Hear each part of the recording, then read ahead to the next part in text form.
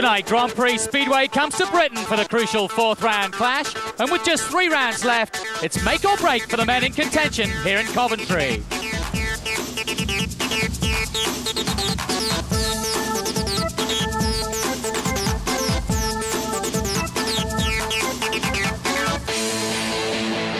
But can anyone stop Poland's Dark Destroyer, Thomas Gollob? Having won two of the three Grand Prix, he's already laid his claim to the title and continues to carry an aura of invincibility.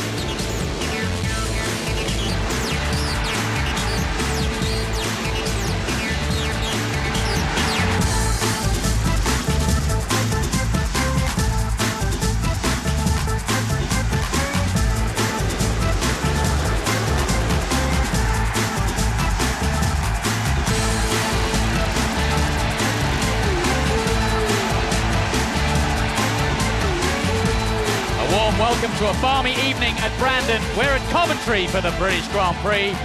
It's round four of the championship. We're bringing all of it live here on Sky Sports. A crucial round for many of the contenders tonight.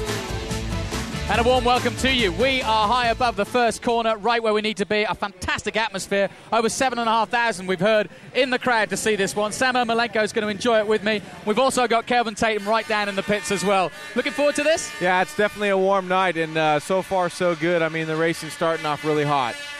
Well, a lot of talk at the moment in this crowd about who's going to win the World Championship, and it's close at the moment, but so far it's been dominated by one man, Thomas Gollob. He has a 65 point lead, but it's only just nine ahead of Jimmy Nilsen of Sweden. Tony Rickardsson, the current world champion, he's in third place with 41. Stefan Danno's up there. Jason Crump, a lot of people will be watching him. He's already won the British Grand Prix twice.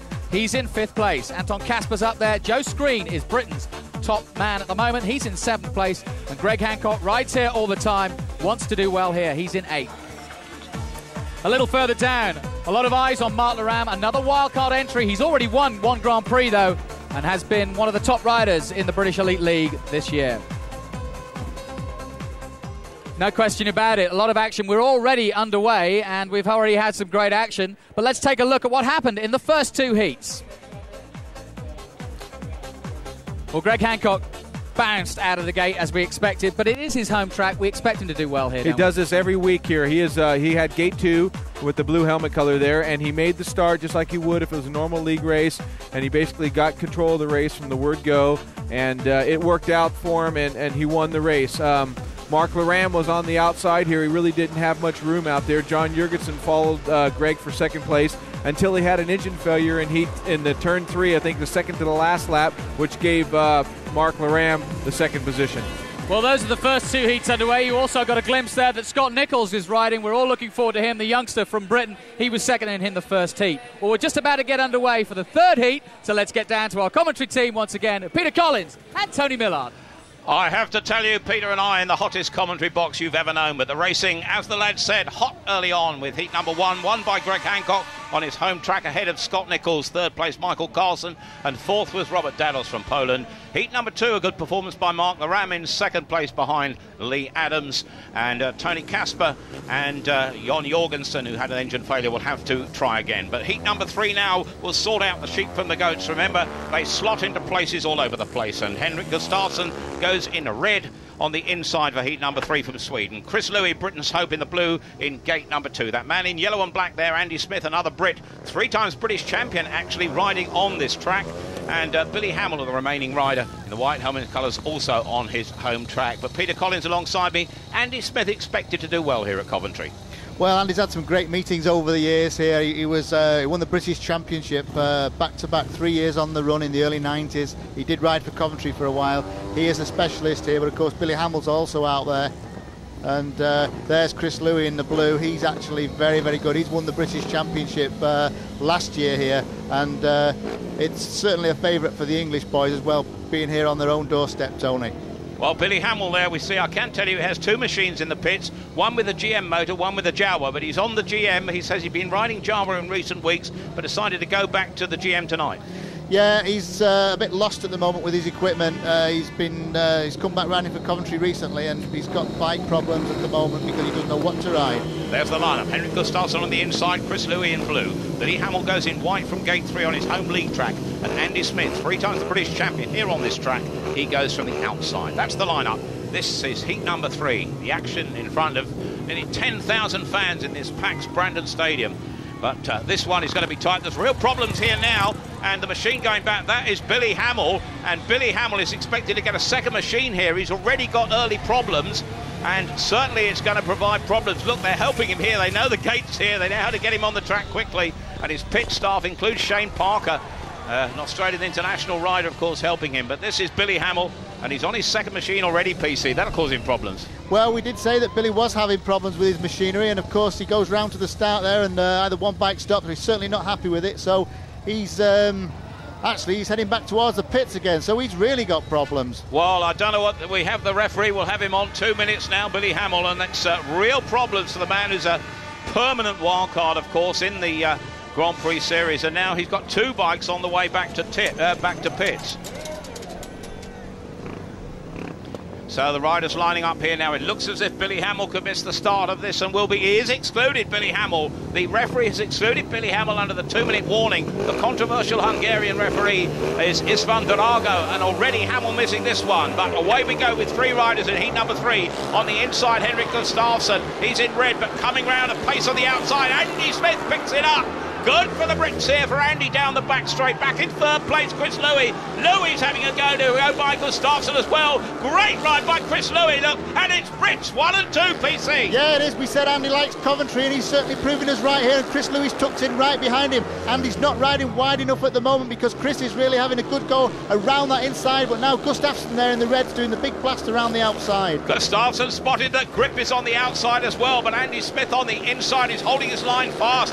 Gustafsson's gone too wide now. Chris Louis in second place. This is going to be Britain one and two. This is a tremendous effort here with a lap to go. Andy Smith, uh, twice, uh, three times a British champion here on the final lap ahead of Chris Louis. And this is great for Britain because already we've had a second place for Mark Loram, a second place for Scott Nicholls. and now we've got the other two Brits packing first and second here. A great night. Andy Smith the win in yellow. In blue, Chris Louis in second place. Henrik Gustafsson in red in third place. That really was a tremendous ride for the two Brits, and none better than that man, Andy Smith. We've often talked about him as the Houdini. He's won that one. It's Britain one and two. Andy Smith and Chris Louis. In third place, Henrik Gustafsson. Billy Hamill excluded will have to ride again, but from the start it was important. Andy did well, Chris Louis did well. That's Chris Louis in the blue helmet. Gustafsson's on the inside, but straight into the picture from the outside comes Andy Smith. I think it helped Andy that uh, Billy Hamill wasn't next to him on the start line there, gave him more room on the starting gate to make that first turn manoeuvre. And Andy certainly cashed in on that one. He made a great run round the outside on the first turn. The track's a little wet and slippery right now. It's so hot at the moment that they've put that much water down on the track, but the track seems to be pretty pretty good at the moment. And uh, Andy's riding a great ride here. He's covering that lead, and uh, great to stay there in that first place ahead of Chris Louis. Well, a marvellous performance by the Brits in that one. But Heat 2 was won by an Australian, Lee Adams, and he's in the pits with our reporter, Kelvin Tatum. Okay, you're joining me down in the pits with Lee Adams, and it's uh, Lee. You had a superb ride in your first ride. Came out of gate two, seemed to work really well. Yeah, I was really happy. You know, I, I, when I got here, gate one looked very nice, but uh, I managed to get over Tony Kasper, and uh, I had a pretty good run out of the first corner, and uh, just went from there. But it looks like the dirt's going to move out a little bit. Andy made a good one off core and uh, pretty much chased the dirt around. So I think by the end of the meeting, we're going to be running pretty high. Right. So, but uh, you must have been very happy to have popped out and start in the, in the Grand Prix and settled your nerves down. Yeah, it's always nice to get the first one out of the way, and uh, you know to come out with a win. It's it's good. You get gate one in your next ride, and and just go from there. And uh, you know the, the big aim is get through to the main meeting and, and take it as it comes. All right. But as you said, you know, the gate one in the next ride. Do you think that's going to be slightly tricky with the dirt moving up? Well, not not really. I think uh, gate one's fairly grippy, so if I can come out fairly clean, I can get into the dirt and, and pretty much run off the turn. I hope. Okay. All right. Okay. Thanks very much, Lee. Um, uh, back over to uh, Peter and Tony, I believe. Well, I can tell you, Kelvin's talking to Lee Adams, and he'll be meeting Scott Nicholls and Chris Louis as two British riders in heat number eight in his next outing, and they'll be going from the wide gates. Lee Adams on the inside. But now we move on to heat number four. Disappointment, of course, in that one for Billy Hamill. Heat number four, there in the blue helmet colours. That's Peter Karlsson, the second of the Karlsson brothers. He, of course, rides in Britain for Wolverhampton. The old Swedish colours on the mudguard there. And there he is coming up to Tate. We just saw fading from picture in white Brian Andersen, the Coventry captain, who also rides regularly on this track in his league action. The man in the red helmet colours on the inside is the Dane Brian Karger. Brian Andersen coming up to Tate. Peter Karlsson already there in gate number two.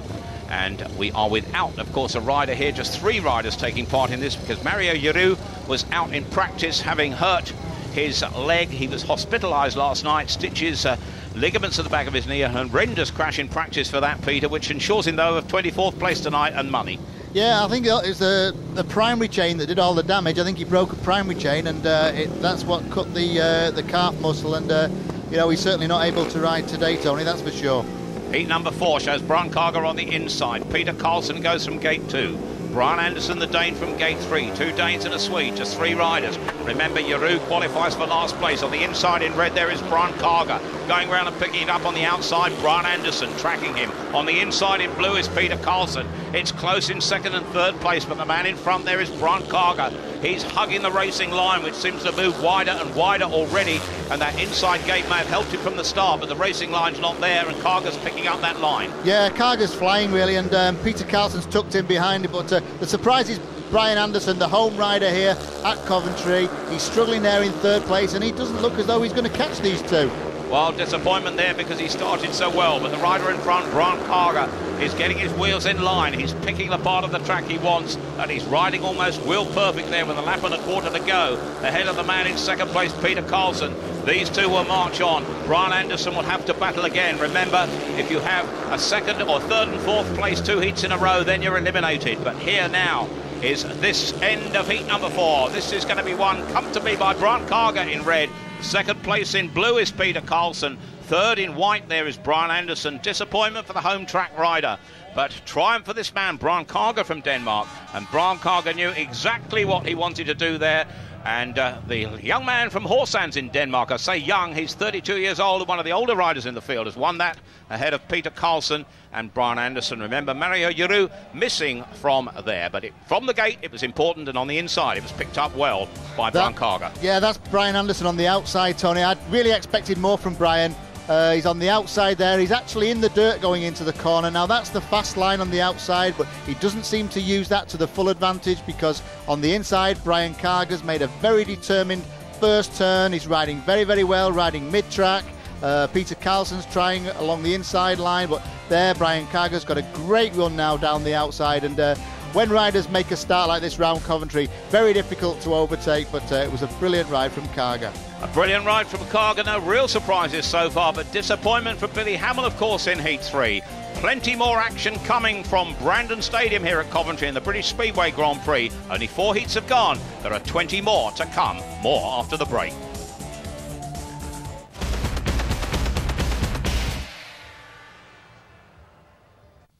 Welcome back to Coventry. These the scenes from the pits at the moment. Live all night here for the Grand Prix action. And so far, the meeting has been fast and furious, but it's exactly what we expected.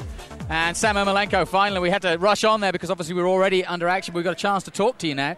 Um, an exciting meeting for many, many reasons. Not only the fact that everybody's chasing Thomas Gollob. Yeah, I mean, it's real important for the bottom half of the guys just to stay in this meeting and stay in the top eight because if you're out of the top eight, then you have to go to the challenge, and that's a tough battle. I've been there before, and uh, that's why I'm still not in the Grand Prix. But, you know, a lot of the guys, um, they're, they're, you know, every point counts out there right now. This is the, the first round of the second half of the Grand Prix. It's real important that the guys do well. Which rider does this particular track? I mean, obviously we've got the likes of Hancock and Hamill who ride here every week, but who I've heard that Gollob is not necessarily a favourite for this particular because he's not that good at this track. I mean, most of the continental tracks are much larger tracks, a lot more dirt, and there's a lot more space to really race for. And I mean, Thomas proved it when he rode at Wrocław at the last GP to be able to pass Jimmy in the last corner. This track will probably give some of those guys those advantages only if guys make mistakes because it's such a tight track. I mean, this is going to probably favor the guys like Jimmy Nilsen Jason Crump, Greg Hancock because it's his home track. I mean, there's going to be a couple of guys like Brian Andersen who Mm-hmm. had a bad race, but it's going to happen because the gates are going to the, gates are going to have a lot to do with how they finish the race. Well, let's go back to Billy Hamill. I mentioned him earlier, but that's the big story already. I mean, we at the beginning of the evening, here he is trying to, um, you know, get into his heat, which was actually um, heat three. He tried to he tried to get into heat three. I think had at- trouble with his bike. Yeah, I think at this stage, the way the new rules are, I mean, you have two minutes once you leave the pit gate, and uh, he was probably already past the two minutes and realized it when they made the effort to bring in the bike out to him, the shortest way to get to the first to the start line, and uh, he was signaled straight off the racetrack. So unfortunate for Billy because I mean his heart's in it. He's got to do well. This is his home track. You know, he feels disappointed probably for the fans and his and his team and everybody. Well, unlike Billy at all, I've heard he's not even talking to us. He won't talk to Kelvin, which is you know most unheard of. Yeah. He's 21st in the championship. This is a disastrous year for him. I mean, it? he's just going to have to start all over. He's going to have to go to that challenge now and keep his head up and uh, hopefully make something out of that and get back in it next year. Yeah, well, we hope so. Well, they're lining up for Heat 5 now, so let's get down to our commentary once, once a team. Our commentary team once again of Peter Collins and Tony Millard. This is heat number five. Just three riders in this, of course, because the absent Mario Jirout assured of 24th place, and it leaves just three riders in this. Jirout would have been going in yellow on the outside. In the inside, it's Michael Karlsson in red from Sweden. Henrik Gustafsson, fellow Swede, goes from gate two. John Jorgensen, who used to ride a lot here for Coventry, somewhat surprisingly had a problem. His first ride goes from gate three. Remember, the last man, it would normally be the last two, the last man is eliminated from this event. He will take just one Grand Prix point. And, uh, well, the last man, he will actually get two Grand Prix points because Jirout gets one Grand Prix point. The others, two, will march on to the next stage. Away we go now. We look on the inside there in red. And Picking it up is Michael Karlsson going slightly wider. And Jon Jorgensen is using his track expertise, but now he's blocked out. He's hit the fence at the back. And it looks as though the Dane, Jon Jorgensen, will fade away from this to lead the two Swedes. Gustafsson in the blue helmet colours, Michael Karlsson in red to follow their way round and move on to the next stage of this Grand Prix. But disappointment for Jorgensen at the back. No such problems out front for the two Swedes. No, uh, Henke Gustafsson's riding uh, very, very confidently here. He's very, very hard on that first turn with John Jorgensen. John sort of ran out of track and uh, Henke helped him on his way there, gave him a bit of a shove. But Henke's really riding well. He's got to be determined because in the past he's not really put everything together in the Grand Prix. But now he's coming under some pressure from fellow countryman Michael Karlsson. Henrik Gustafsson looking sure out front in this one, rather better than his golf was this morning, I can tell you down the road. But out front, Henrik Gustafsson will win this in blue, ahead of Michael Karlsson. The two Swedes will march on, and the first man to go out tonight will be John Jorgensen, the Dane, who used to ride here for Coventry. Real disappointment for him, and John Jorgensen can go home with just two Grand Prix points to his name as the third rider in heat number five, and that is desperately disappointing for the Dane. But, well, glory for Henrik Gustafsson. He marches on. His chances increase again. Gustafsson, the winner, ahead of Michael Karlsson. The two Swedes continue in this Grand Prix. John Jorgensen goes out. And from the start, well, it was vital. Jorgensen taken wide and really didn't enjoy it. That's right, Jorgensen on the outside there in the white helmet. You can see he makes a pretty good start, but Henke Gustafsson is right with him as they go into that first turn. Now it looks as though Gustafsson's uh, uh, Jorgensen is leading this race, but Gustafsson's riding that inside run there, and you see now he takes the line away totally from John Jorgensen, takes Jorgensen's front wheel away. John goes off towards the fence, and uh, unfortunately for him, that position is the end of his meeting because he's back to the changing rooms. And uh, Gustafsson and Michael Karlsson made a great race there together for those two qualifying uh, positions. Well, from then on, as you say, it was the losers' heat. Heat six coming up now is also a losers' heat. It was tough there for John Jorgensen as he went into the fence, and from there on, really, he had nowhere to go and nothing to do. And real disappointment for the Dane. He can go home with two Grand Prix points to his name. And for John Jorgensen, really that desperately disappointing. He was 12th in the standings with 25 Grand Prix points. That now gives him 27. But as we move on now to heat number six, this again, a losers' heat. We see in the blue helmet colours there, Brian Andersen at the front of your camera. On the inside in red is Tony Kasper. That man in yellow in the background, Billy Hamill, who had such disappointment, number 22. And the rider with number 14 there on his uh, bike also joins in. In this one is uh, Brian Andersen. The rider in red there is Tony Kasper. That man in blue, Brian Andersen. Andersen disappointing last time, the Coventry captain, more familiar with the track, of course. Why is it here? Uh, we've got a couple of Coventry riders in this heat, uh, Peter, and uh, so they would be expected to do well, wouldn't they? Yeah, this track's very familiar to just about everybody here. I mean, most of the riders in this sort of match uh, actually ride in the Elite League, and Coventry's uh, well up there, and they're regularly on this track. So it's it's basically a track that they all know, so anybody could win here. Tony Kasper on the inside of Brian Andersen, gate two. Robert Dados the pole. Disappointing first time out goes from gate three. And Billy Hamill, who suffered that machine problem and missed the two minutes, was unable to keep. But it's desperate for Billy Hamill to get in the first two in this one if he's going to march on. We just see the opportunity. Tony Kasper, of course, uh, on continental tracks looks a different rider from what he does on British tracks. And he's on the inside, perhaps a shade tight for him. The starting marshal moves away. Up go the Tates, but Kasper picks it up. A little bit of jousting there between the rider in white, Dados, and Billy Hamill. Hamill's left at the back. Could this be another desperate disappointment for Billy Hamill, the former world champion? Because he's going to go out of this if it can. Oh, up on the top man. Two riders into the fence. The referee will have to stop this one. And this may be the saviour for Billy Hamill because he was nowhere in that one as the two riders in front of him piled into the fence. Billy Hamill is perfectly okay. Brian Andersen's okay. But that was Robert Dados and Tony Kasper, the two Eastern European riders. And really, well, Peter, it was wild riding, wasn't it? Look at it. Yeah, Dados is having a big go round the outside, gets it all wrong. He catches Kasper, but Kasper goes down very, very badly. He falls very heavily into that fence there. That's the worst part of the track that you could possibly ever want to crash. And we can see this one again. Dados has already gone down. He's hit the fence there, quite lightly to be honest, but uh, Tony Kasper's gone in very, very hard into that gate where they come out. The referee has excluded Robert Dados as the cause of that stoppage, and that really is a little bit odd. But let's see what Kasper did in front. Dados went down first, Peter. Yes, but Dados actually caught uh, Tony Kasper's back wheel and threw uh, Tony totally offline.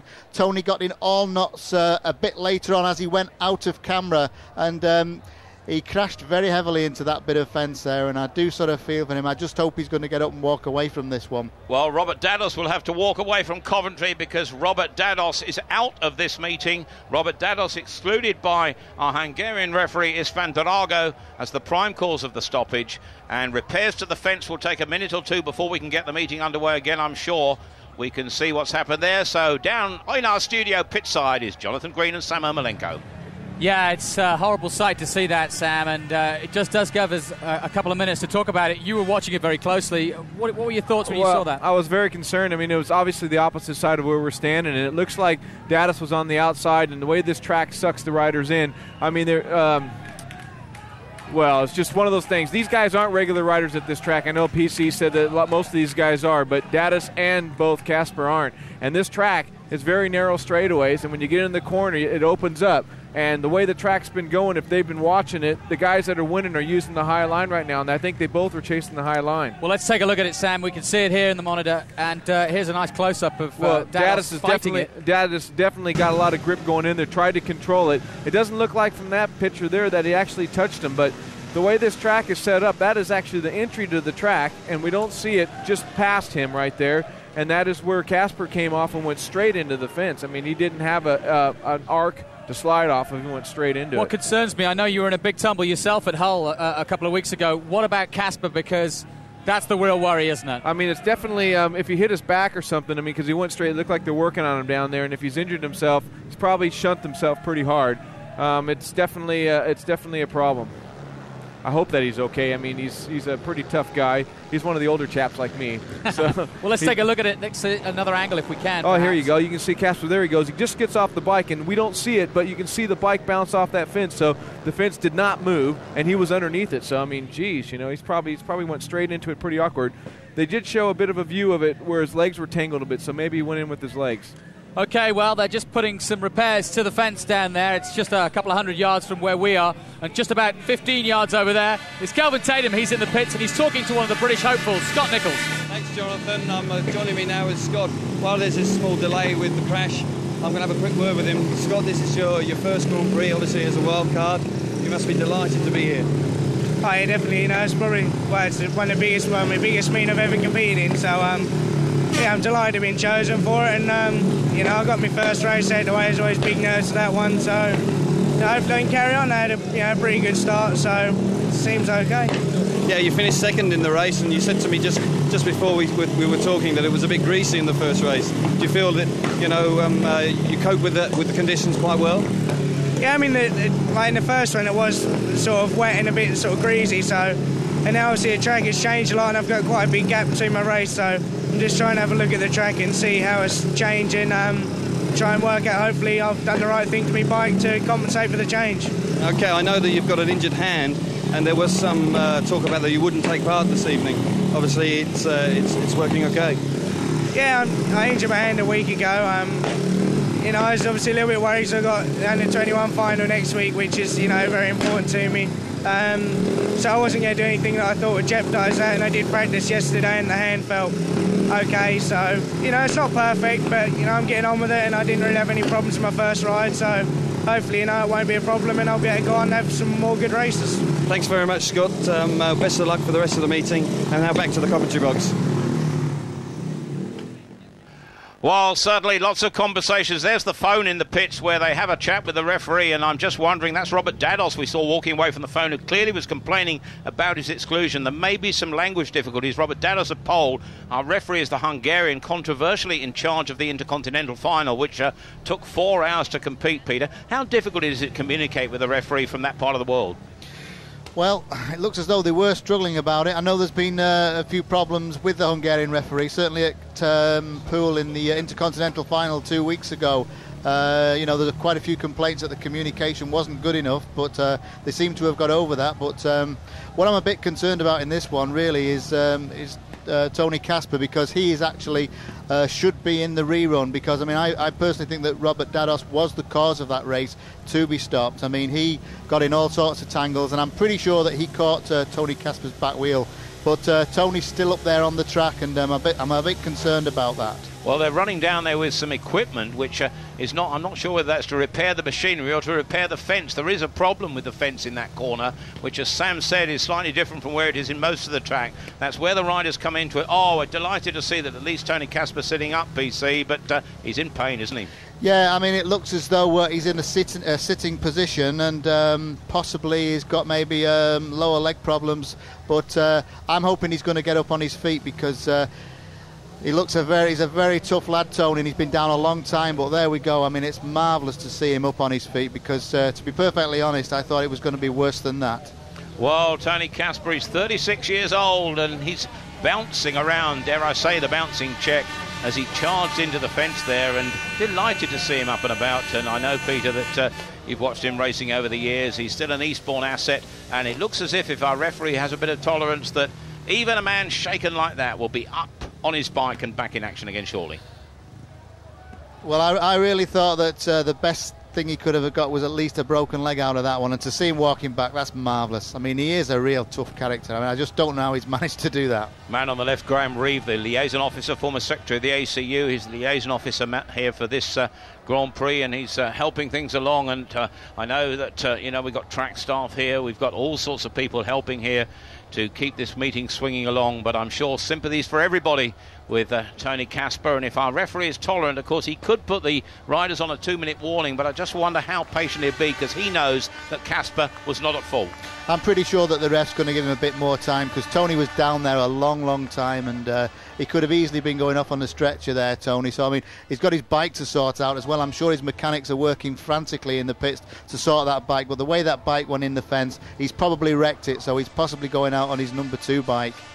Well, there we are, Tony Kasper. Look at him bouncing. He's sweating like we are because it is very, very hot. The sun's back out on the far side of the arena. The pits are very, very busy. It's a packed house here. Lovely to see it at Coventry. You can see them in the background in the stands and terraces. And uh, as the sun goes down and the lights come on this balmy summer's evening, well, it's quite a scene here at Grand Prix. And uh, this is an occasion to remember. And Tony Kasper, look, they're getting his machinery ready. Look at him. They're just feeling the pressure of the tyre. Cool as you like. Well, very. There's Kasper disappearing off. You see in the distance to the pitch too. He's got to find a helmet, I suppose, to get on board that one. Well, he seems to be uh, walking okay, doesn't he? Had a bit of a trot there, and um, no concussion. Uh, well, we understand that he's got a few seconds more before the two-minute warning starts, and Ole Olsen, the race director in the pits, is uh, playing his part in sorting this out. But there we have Tony Kasper, who we know is wearing the red helmet colour, and he will be there. And I'm sure that, barring accidents with his machinery, Well, the courage of this man should be recognised. Remember, he has to finish in the top two in heat number six to qualify. But uh, one moment, Peter, the man that really faded was Billy Hamill, and this break, this time to get his equipment right, could really have benefited Billy Hamill more than anybody. Yeah, I, would think that Billy Hamill and his mechanics have been frantically trying to sort those bikes out because. Uh, you know, it's make or break for Billy because if he doesn't finish in the top two positions in this heat, he will be eliminated, and that would be a one terrible turn up for him here, especially being on his home track here at Coventry. And things just don't seem to be going right for him right now. So I'm sure that uh, they've all got their heads together and uh, been frantically working on those machines. Well, there's the time counting down bottom right hand corner of your screen of the two minutes given to the riders to get on their way to tapes. That is Tony Kasper. Now, he's on the way. Tony Kasper, and I'm sure that he will now make it to the start. Whether he's a bit shaken, well, that's another matter completely. Tony Kasper, then, the rider for whom all the weight was about. Going with him still in this with Robert Dados excluded. We have Billy Hamill going from the outside gate in yellow, and Brian Andersen, the Coventry captain and track specialist, he will go from gate number two. They still haven't got the tapes down, so the riders have had a little bit longer to go round the track and uh, get themselves acclimatised.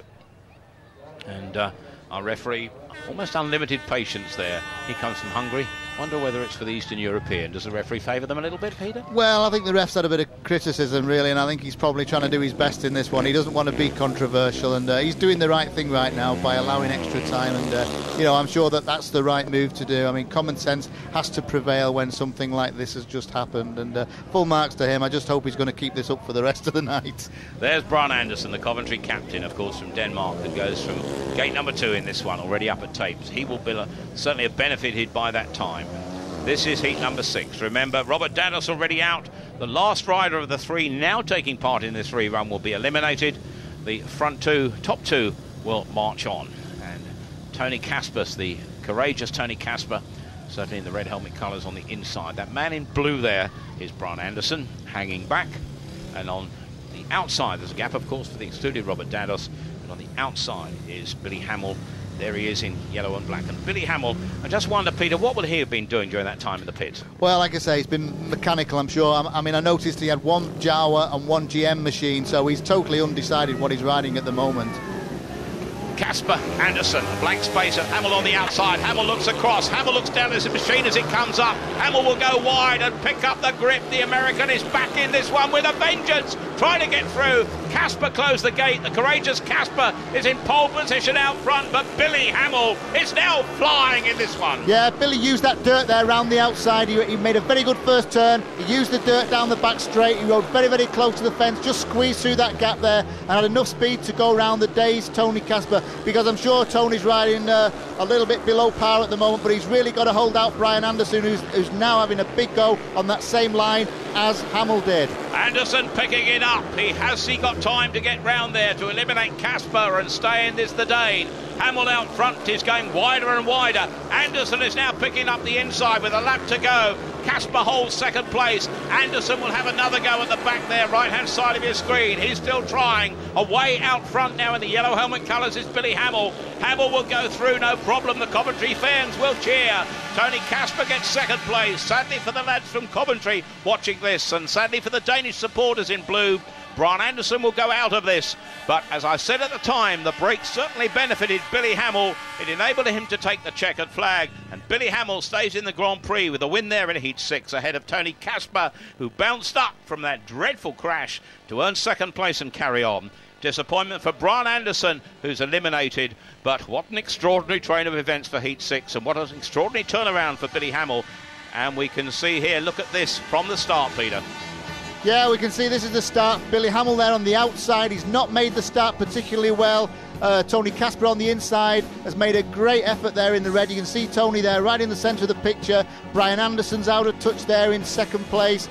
Uh, but see Tony, he's got a great line round that first turn. But Billy Hamill, you see Billy now, he's going to squeeze down now, down that outside, between the fence. His elbows just skimming that safety fence. When he gets down to the bottom turn, He's got the fast run around the outside, just enough speed, just to sneak round the outside of Tony Kasper, who's riding the inside where, the, where there is far less grip. Well, Tony Kasper recovered, but Jonathan and Sam in the studio, I'm sure, watched that one with great interest. Yeah, it's. Uh, I don't think any of us can recover. It's all going on at the moment. But I suppose the good news, Billy Hamill, he needed to be a hero tonight. I mean, it was a desperate. Uh, I mean, he was so lucky that the accident happened in front of him, and he had a second chance. And whatever he did in that one, I know he had his head down all the way to the corner, thinking, "I just got to keep going." And because he knew the track, he got by Kasper. I mean, that was a pretty daring move to go all the way around the outside, and he squeezed his elbows in and made it. This is a big night for Billy. Billy's not the kind of guy that likes to be in this situation. I mean, he's pretty down right now. That should boost him up a bit. He sh- should feel a bit more confident about it. Okay, well, we're all ready for the next heat. Let's go back to our commentary team. Well, a tremendous heat in prospect here in Heat 7. That's Greg Hancock, the American former world champion who rides for Coventry. The man in blue, Andy Smith, three times a British champion here on this same track. And a great ride for him, first time out. Andy Smith when he won Heat 3. And there in the white helmet colours pulling back Mark Loram. Mark Loram was second in Heat 2. Another good ride for him as well. That's two Brits on the outside in yellow and black. That is Peter Karlsson on the outside. The Swede who rides for Wolverhampton in the British Elite League. There's the lineup. The American Greg Hancock from the inside gate. Two Brits, Andy Smith and Mark Loram. Peter Karlsson on the outside. That's the lineup. This is Heat 7. Remember, we're now into the getting into the serious stuff.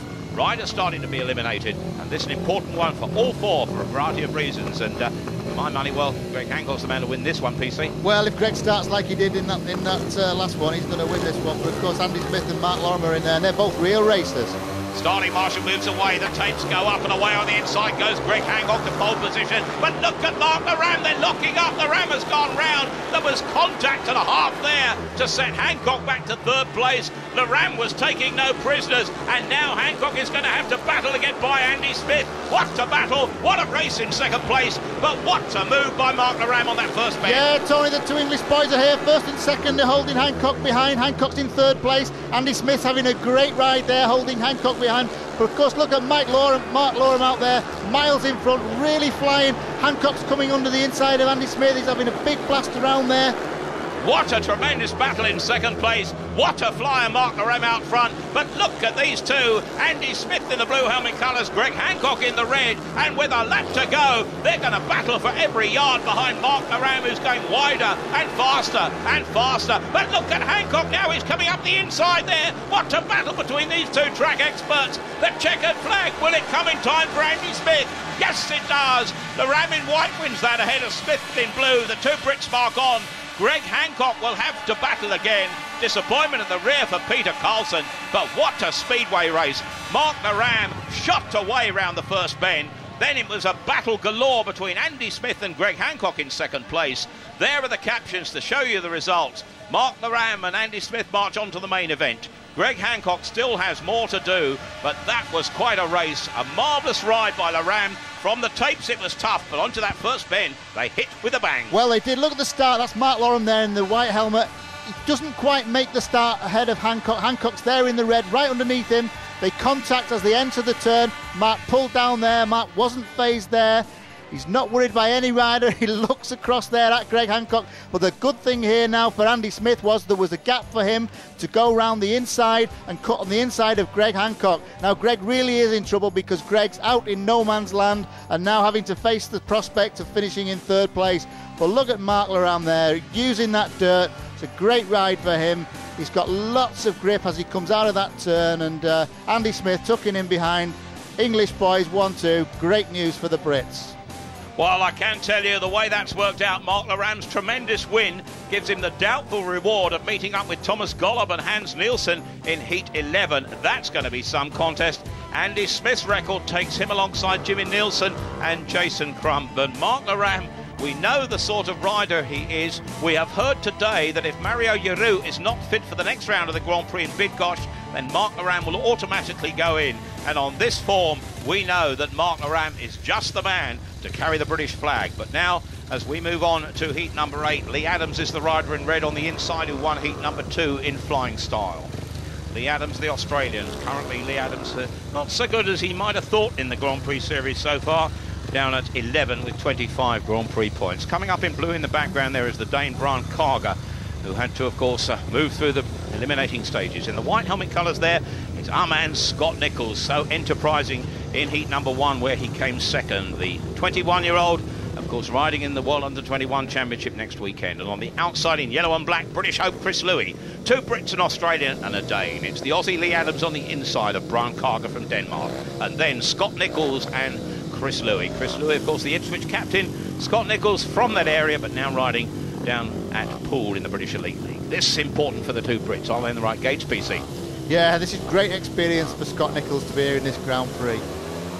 While starting Marshall walks away, will Nicholls get a start? Louis does on the outside. They're packing into that first bend. Louis got the line. He's gone too wide and almost into the fence at the back. But Scott Nicholls is battling. Scott Nicholls is there in white in second place. In red leading is the Australian Leigh Adams, who will have his second successive victory on the night. But Scott Nicholls is still there. The talent of this young man has shown promise. The talent of this young man could go a long, long way. But out front, Leigh Adams, the Australian, riding smoothly. Karger putting the challenge on Nicholls in second place. Nicholls losing the grip there as Karger goes wide to pick it up. That a mistake by the young man will have to come back, PC. Yeah, there's some grip out there wide on that bottom turn where Kasper crashed earlier and uh, Brian Karger used that to go by Scott Nicholls. That's bad news for Scott because he looked as though he was consolidating that second place, but no one's got any answer whatsoever to Leigh Adams, who is looking so quick tonight. And the sad part for the Brits they are in the last two places of both Chris Louis and Scott Nicholls will have to battle again. But Leigh Adams will march on to the main event as he takes the checkered flag in red, second place in blue, Brian Karger, Scott Nicholls looks down at his machinery in white there and wonders what went wrong. And Chris Louis really there on the first bend, it was he that had a problem. And from that point of view, the Brits still have to fight. Some are going well, some not so well. A win for Leigh Adams, the Australian, his second heat win ahead of Brian Karger. They move to the main event. And from their point of view, well, the Brits, who suffered a bit on the start, will have to do it all again. We've got plenty more action to come here. Eight heats have gone. There's another 16 all to come here on Sky Sports as the action gets hotter and hotter at the Brandon Stadium here at Coventry.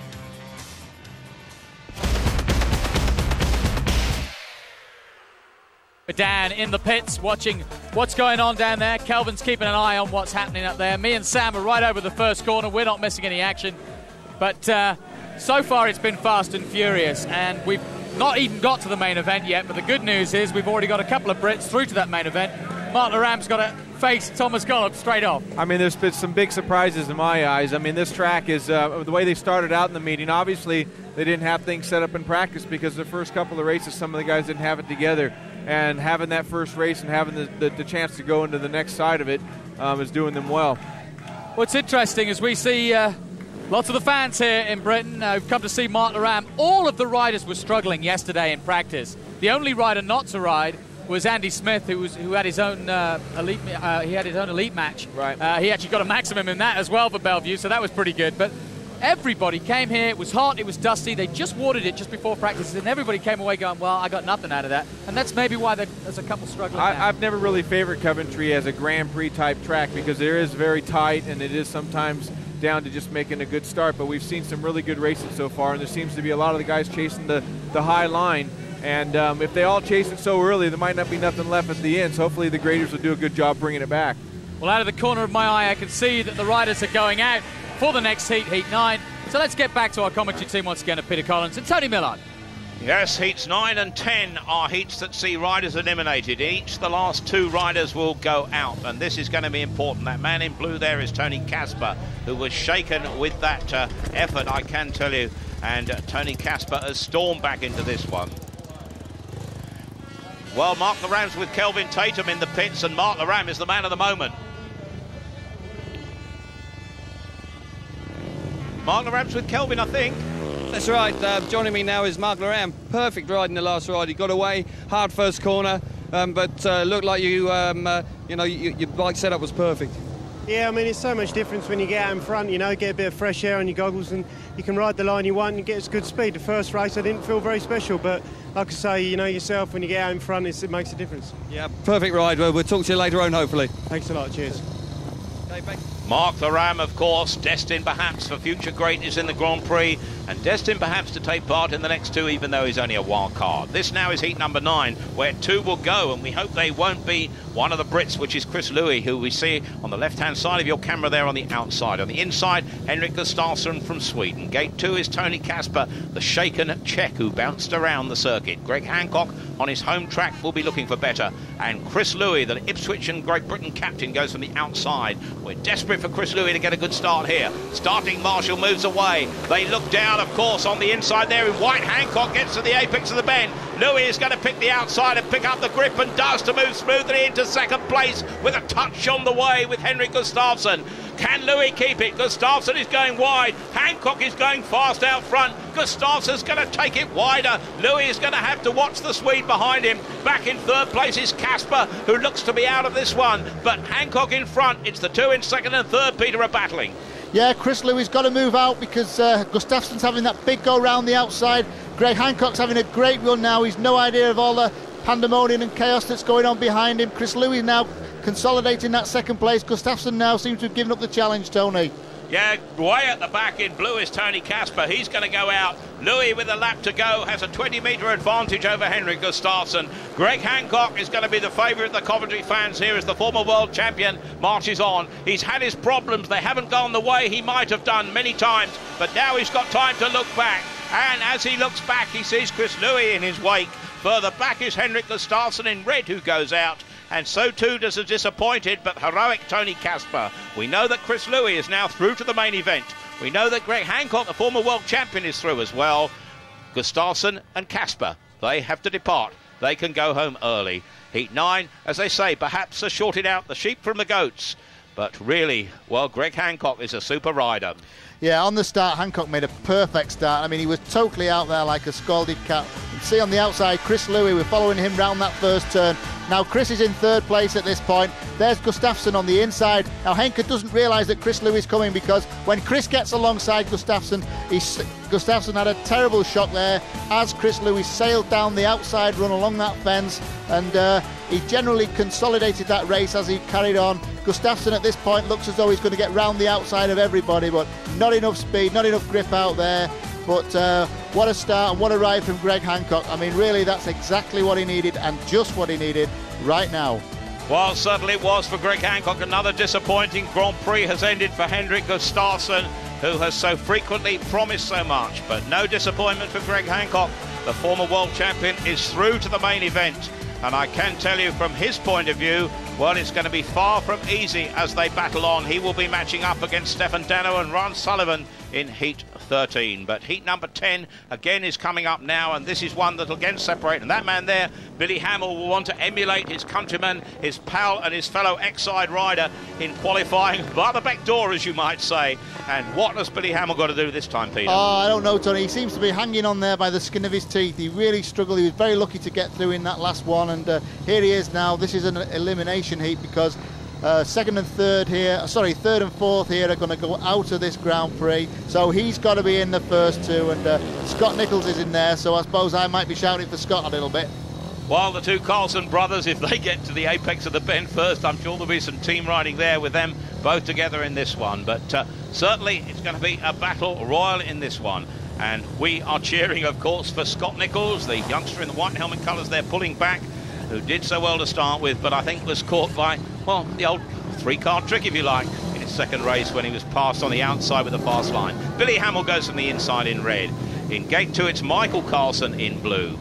Scott Nicholls goes in white, and Peter Karlsson from the outside goes in yellow and black. The Karlsson brothers who ride for Sweden, they ride for Wolverhampton, separated by us by initials. Sadly, not on our captions for the moment. Billy Hamill and Scott Nicholls. Billy Hamill, of course, a Coventry rider here. They look across to the magnet. Oh, and Scott Nicholls will go out of this one I'm sure, for touching the tapes, and sadness for the youngster because it's exclusion for Scott Nicholls. It's hardly disappointing. It could hardly be more disappointing. And look at that, Peter. Was it nerves for the young man? Well, we can see um, Scott Nicholls' left hand there. He's got two fingers taped together. Now, that could be part of his problem because uh, that broken bone in his hand, it's on his clutch hand. So basically, he's having to use that hand all the time. He's having to hold on to that clutch. And I think he felt that he got to the point where he was going to let that clutch go.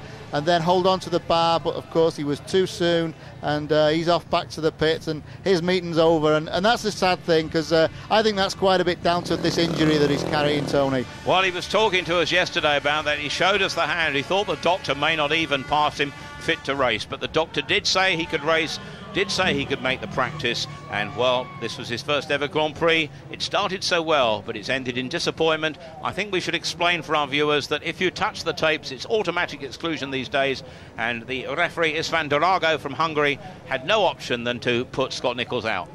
Yeah, I, I did sort of uh, tongue-in-cheek suggest that uh, Scott possibly could put the uh, clutch lever on his throttle hand and work the two with the one hand, but uh, I don't think he fancied that too much, Tony. Redesigning the bike and mechanics of Peter Collins. I can tell you that Scott Nicholls is in the World Under 21 Championships at Vojens next weekend, and there is another meeting alongside that, which is a pairs event.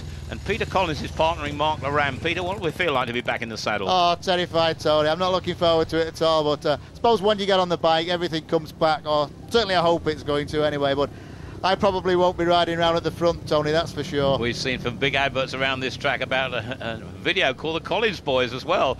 That shows Peter through the years. I'm sure that those memories will come flooding back at Vojens at the weekend. We're waiting for the starting tapes to be put into shape here after Scott Nicholls hit them here. A reminder, just three riders remain in this heat 10. Scott Nicholls has already gone out and one of three, Billy Hamill, Michael Karlsson and Peter Karlsson, will all go out in this one. The first two will march on to the main event, and the last man of the three will go. This is heat number 10, the restart with Scott Nicholls crashing out, of course, or not crashing out, going into the tapes and being excluded by our referee.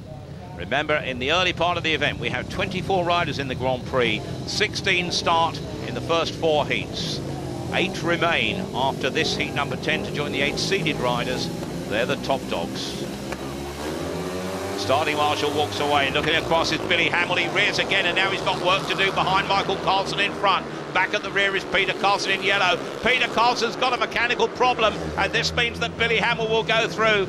Peter Karlsson at the back is out of this. The other two will have to race each other only for position of gates, I have to tell you. And in whatever heat these two go in, they will be going in the outside two gates because that's the way it works out. But Michael Karlsson in front of Billy Hamill, and Hamill who started so badly at the night. Peter Karlsson oh, to is half of that behind, but it's all going to come well for Billy Hamill, Peter. Yes, uh, Michael Karlsson's looking very, very good up there front, but Billy Hamill seems to be getting things together now. It looks as though he's riding the Jawa machine in this bike, and uh, it is looking a, a, lot better than it was early on, but he really has got to go a little bit quicker than this if he's going to qualify for the later stages of the meeting. Well, I was talking to Billy Hamill just before the start, and he said he had been riding Jawa, but was going tonight on GMs. Well, he suffered problems right at the start with those, and now with the checkered flag, well, no such problem for him in second place here. He goes through to the main event. The man in blue in front of him, Michael Karlsson, has time to look back. It means that Michael Karlsson and Billy Hamill will go on to the main event. It means sadness for Peter Karlsson, who will disappear. And uh, Michael Karlsson then and Billy Hamill to the main event. Peter Karlsson goes home with the excluded rider Scott Nicholls. The main event is still to follow. The crowd hasn't moved an inch. It's a tremendous night here for the British Grand Prix at Coventry, and we've got another 14 heats of action still to come.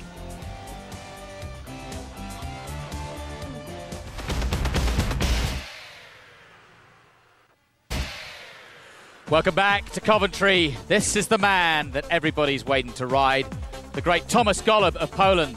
He's won two Grand Prix already. He leads the World Championship, and he's in the main event. No surprise there. And Britain's best rider, I guess, Mark Loram, is going to be up against him, as is Hans Nielsen. Last year, right at the back last year in the Grand Prix here, Gate 3 was probably the favorite gate. It was when it come down to Ryan Sullivan and Jason Crump flipping the coin Jason got gate three and he won it. And as we're coming up now, and we can see just quickly who's been eliminated already, and I suppose no big surprises there. Scott Nicholls, a bit of a shame because I think he's riding better than that. And there was a couple of mistakes there really for him. Anton Kasper, well, we saw what happened there, and Henrik Gustafsson, I suppose, big surprise. Yeah, I mean, you know, they're all fighters. Most of those guys are really good racers, but the track probably didn't lend to it today, and uh, you know they had to make the start and they didn't do it. You know, like I said, when we're getting into what gate positions are pretty important at the moment, you know. I mean, Mark Loram's at the top of that side there, and Mark Loram's got gate uh, three in his ne- in the first race of the main event against uh, Thomas Gollob and Hans Nielsen. Well, it's great news for the Brits, especially Andy Smith. Andy Smith had a quick uh, walk past us a minute ago and gave us the old yeah. He's enjoying this. He had a maximum yesterday. The guy's on a real high. Yeah, I mean, it's, the, the small track, Bellevue is a bit of a small track like Coventry here. So, you know, if he can get out of the start, his bikes look pretty fast out there, so he looks like he's pretty set up for it, so he should have a good chance. Well, there's plenty of Brits still riding. The main event's just about to get underway, so let's go to our commentary team of Peter Collins and Tony Millard. Well, the greats come together here, and none is greater in Britain at the moment than this man, Mark Loram. You see in your camera there wearing the white helmet colour in this heat. But look at the man in the background there. That is Thomas Gollob, the man they all want to beat, the highest paid sportsman in Poland. I was reading today, he's thought of in Poland like Alan Shearer is in England. That's Hans Nielsen, of course, multi world champion aiming to retire this year. Some people believe that he won't, perhaps, but we'll have to wait and see. He goes, uh, if, well, whether he goes to the Grand Prix Challenge or qualifies for next year's Grand Prix, I just wonder whether he will carry on riding. Mark Loram in white there, and the man in yellow and black is the Dane Brian Karger. What about that man, Hans Nielsen, Peter? Will he retire after all? Well, it's a difficult one to say. I think he's playing his cards pretty close to his chest at the moment. I know he has said this uh, on numerous uh, occasions earlier this year, but uh, it's not been mentioned for a while. So, you know, maybe, maybe thinking about having another go next year. Well, you know, we talked about him in the uh, previous Grand Prix when he held back from first place. And I did actually ask him about whether it was choice of gates. And he was planning, we were talking with Ivan Mauger, who said that's what he used to do. And Mark Loram knew full well in Wroclaw that uh, gate positions were important. And that's exactly what he did. Well, there is Mark Loram, and he's got a lot to do in this one. But gate three will probably help him. Thomas Gollob on the inside. I have a feeling that Gollob really prefers the wider gate, Peter. Yeah, we know he loves the outside, and there is a lot of dirt out wide on the turns. Thomas loves it out there, but he's pinned down on gate one. But gate one's quite a good starting position, and the way Thomas rides, he can make it from anywhere. You know, he really is world champion uh, material, and we've seen him so many times. He can pull something very, very special out the hat at the last minute. I know the riders, though, don't like going outside Thomas Gollob, but there's three men outside him this time as Jimmy Nilsen watches with interest as what's going to happen. There's Greg Hancock in the background. And now this is the time. This is Mark Loram, and we desperately want him to finish in the first two. He will get another chance if he doesn't. We're through to the main event, remember. The eight qualifiers from the first 10 heats are joining the eight seeded riders. There's the lineup. Thomas Gollob from Poland on the inside. Hans Nielsen from Denmark goes from gate two, three times the world individual champion. Mark Loram, already a Grand Prix winner this year in white, from Britain goes from gate three. And Brian Karger, the unfancied Dane perhaps. The 15 seconds, there's the time up in front of the riders. You can't back away from this now. And gate two, the most popular for victories so far there. We see the 40%, the others shared equally. The starting marshal holds them up here now. Starting Marshall, Norman Keatley marches away. Up go the tapes and away on the inside goes Gollob. But look at Nielsen, look at the Ram. The Ram's going through. Gollob is right at the back. Oh, he made a big mistake there now. And the all-conquering pole will have an awful lot to do. But a brilliant bend by Mark Loram. And Hans Nielsen, the veteran, is like his former self here now. Yeah, we know Hans can have his moments when he makes a good start, a good corner. Well, Mark Loram really having it going, pulls alongside of Hans Nielsen. Mark Loram looking brilliant in this one. Thomas Gollob will have to go again, but Hans Nielsen leading Mark Loram. We know the class, we know the speed, we know the ability of Mark Loram, and we know the finesse of the professor in front as Hans Nielsen leads this one. We're talking about his retirement, but if he can ride like this, beating some of the best riders in the world with a lap to go, Hans Nielsen may be a veteran, but the speedway skills are there. It's time to look back. He sees in his wake Mark Loram, who's having another go on the inside. What a tremendous ride by the Brit. But Kale, look at it, Loram wins it.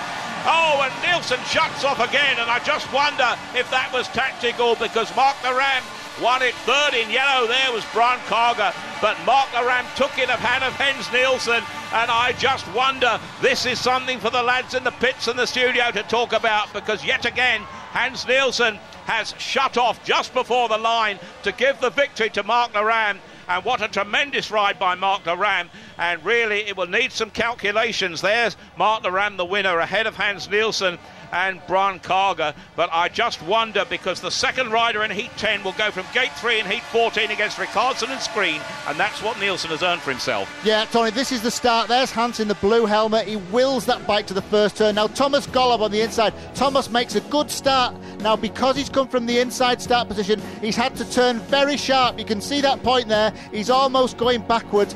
That's where he lost the race.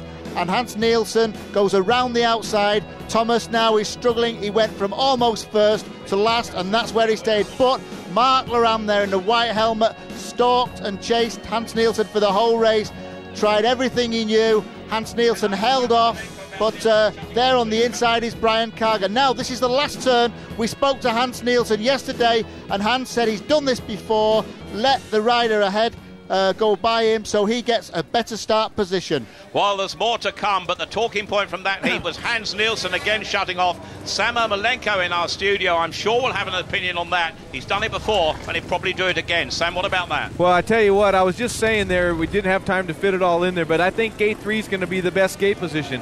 And uh, the guys are working it out. I mean, Greg's on gate three in his next one, Leigh Adams on in this next race. Um, that's probably going to be the favorite gate. I was here a couple of weeks ago in a league match, and gate three won every start. I know that the percentages probably say one thing or the other, but I mean, as, as the meeting goes on, I think it's going to be the best one. We can see the fastest heat times, no surprises there, and it's the men that you were mentioning there who are leading those times as well. Yeah, it's uh, it's real important right now to really think about the final couple of races, and right now when it gets tougher, as you see, Gollob, he didn't make the best of start, but it just depends on who you're who's on the inside of you. Yeah, he's a smart old cookie, old Hans Nielsen. He knew it all along, but Loram wins the heat. Let's get back to the action with our commentary team. Well, I have to tell you, I was talking at practice with Hans Nielsen just about that yesterday with Ivan Mauger, one of the greatest, and that's what they do. Here's the lineup, Heat 12. Jimmy Nilsen, currently second in the Grand Prix standings. Jason Crump goes from Gate 2, winner of the British Grand Prix here last year. Leigh Adams, winner of Heat 1 tonight, the Australian, goes from Gate 3. And Andy Smith, three times the British champion on this very track, goes from the outside. This is Heat 12, a real cracker in prospect here. I just wonder if Andy Smith on the outside can spring a surprise. I hope so. Andy can blast around that inside. I'm really hoping he can do that. But I'm looking at Jimmy Nilsen on the inside because we've just seen what happened to Tom, Thomas Gollob down there, and it did not work for him.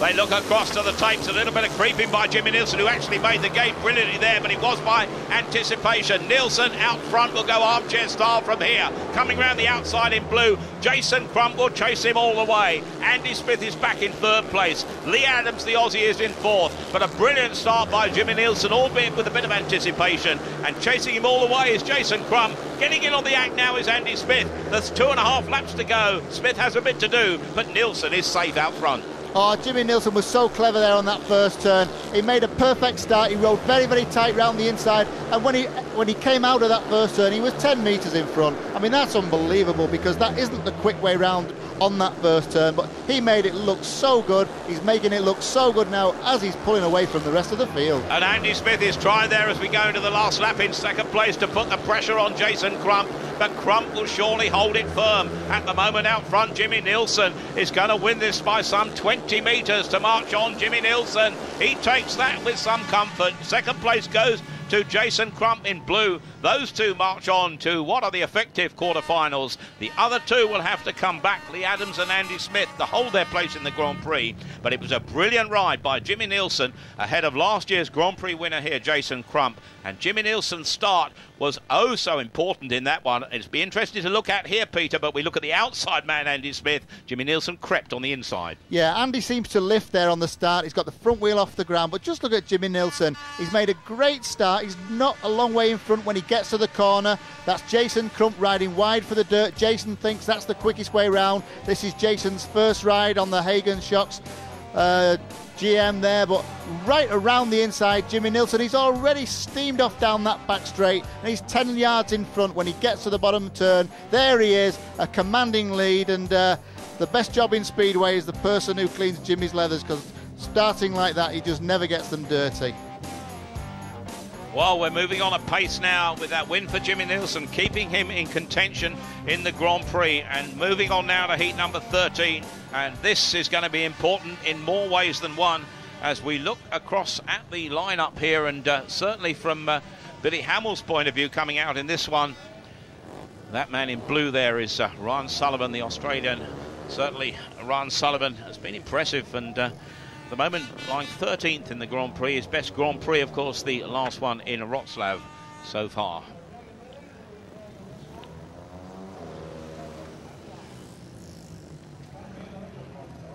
There's uh, Greg Hancock already up at tapes in the white helmet colours.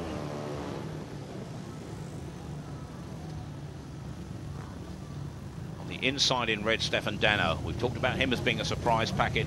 Currently lying fourth in the Grand Prix Series. I have to tell you, he's not going to ride in the British League for the rest of the season, but he did tell me that he's going to come back and ride in the British Elite League next season, properly prepared. And that'll be good news to Eastbourne fans if he goes down there again. But his uh, two meetings so far in this country, a little bit disappointing, but not in the Grand Prix, just riding Grand Prix and Swedish League matches for the rest of the season. That's an unusual choice, Peter. Most riders ride wherever they can.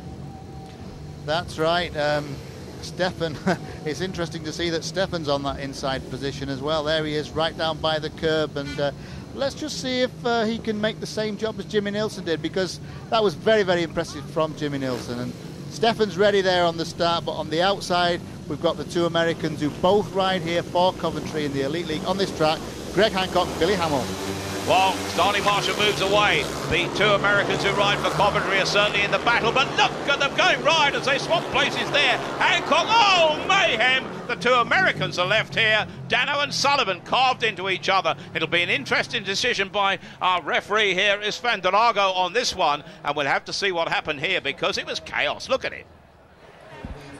Yeah, Stefan Danno actually took a bit more drive there and rode right into Ryan Sullivan. Stefan, I think, was at fault there, and uh, the referee, if, if there's going to be something happening here with regarding a disqualification, then Danno, I think, would be excluded. But the Americans, Hancock and Hamill, also crashed. But uh, you've got to feel a bit there for Ryan Sullivan because I think he was the innocent party. We can see Danno in the red. Danno just tends to come, straightens up at that point and runs into the line of Ryan Sullivan and down both. Uh, Sullivan and uh, Danno into the fence. Well, it looked to us then from that replay that Stefan Danno was the prime cause of the stoppage, taking away the front wheel of Ryan Sullivan. I don't know whether that'll be the verdict of our referee. We'll have to see. Well, tension here on the rider, and again the first aid staff have to come out to that. Well, it was quite spectacular there, and for my money, certainly Danno was the cause of the stoppage. Problems for Ryan Sullivan's machinery, problems for Danno's machinery, and I just wonder what our referee's decision will be. Uh, machinery has to go back. There's Ryan Sullivan getting to his feet, and uh, well, we can go to our studio, and I wonder what the lads have to think about that. Do you agree it was Stefan Danno's fault, Stan?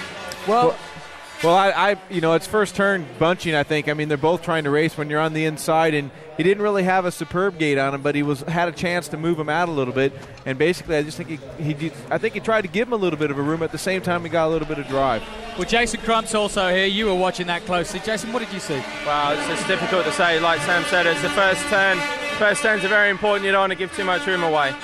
As a two-time winner of this particular Grand Prix, you know this track very well, obviously. What are the, uh, the track conditions like at the moment? Well, with the weather being so warm, they're a little bit slicker than I anticipated. But um, you know, like I say, with the hot weather, they have they've done a great job on the track. It's been very difficult for them, but a little bit slicker than I would have hoped, really. Well, let's take a look at what just happened. I mean, all four riders really involved in this, and we can see it again.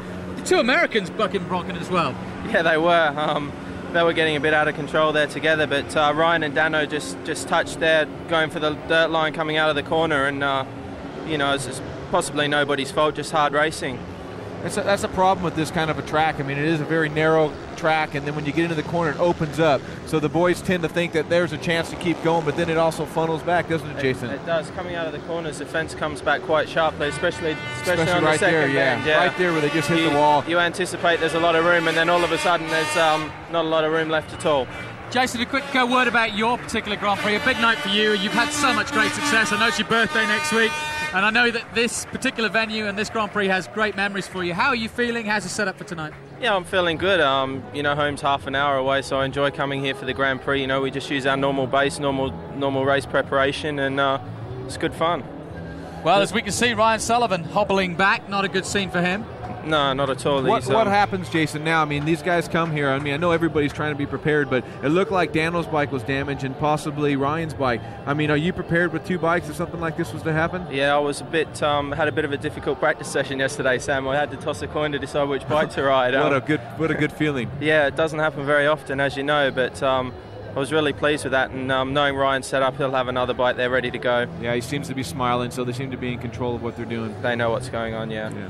Well, Jason, best of luck for the rest of the evening. We'll be seeing you in action, I'm sure, in a few moments' time. Thanks. But uh, See you, while we're waiting for the restart of what was, uh, well, amazing mayhem at the uh, end of that last one, or at the beginning of that last one, It looks as though Ryan Sullivan is uh, hobbling back and getting himself sorted out.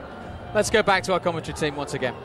Well, as we look down at the track here, quite spectacular, the Brandon Circuit. I can tell you they're introducing go kart racing on that centre green, which is all concrete. We saw some spectacular stuff, car driving earlier on, rapid parking. That man in blue, Ryan Sullivan.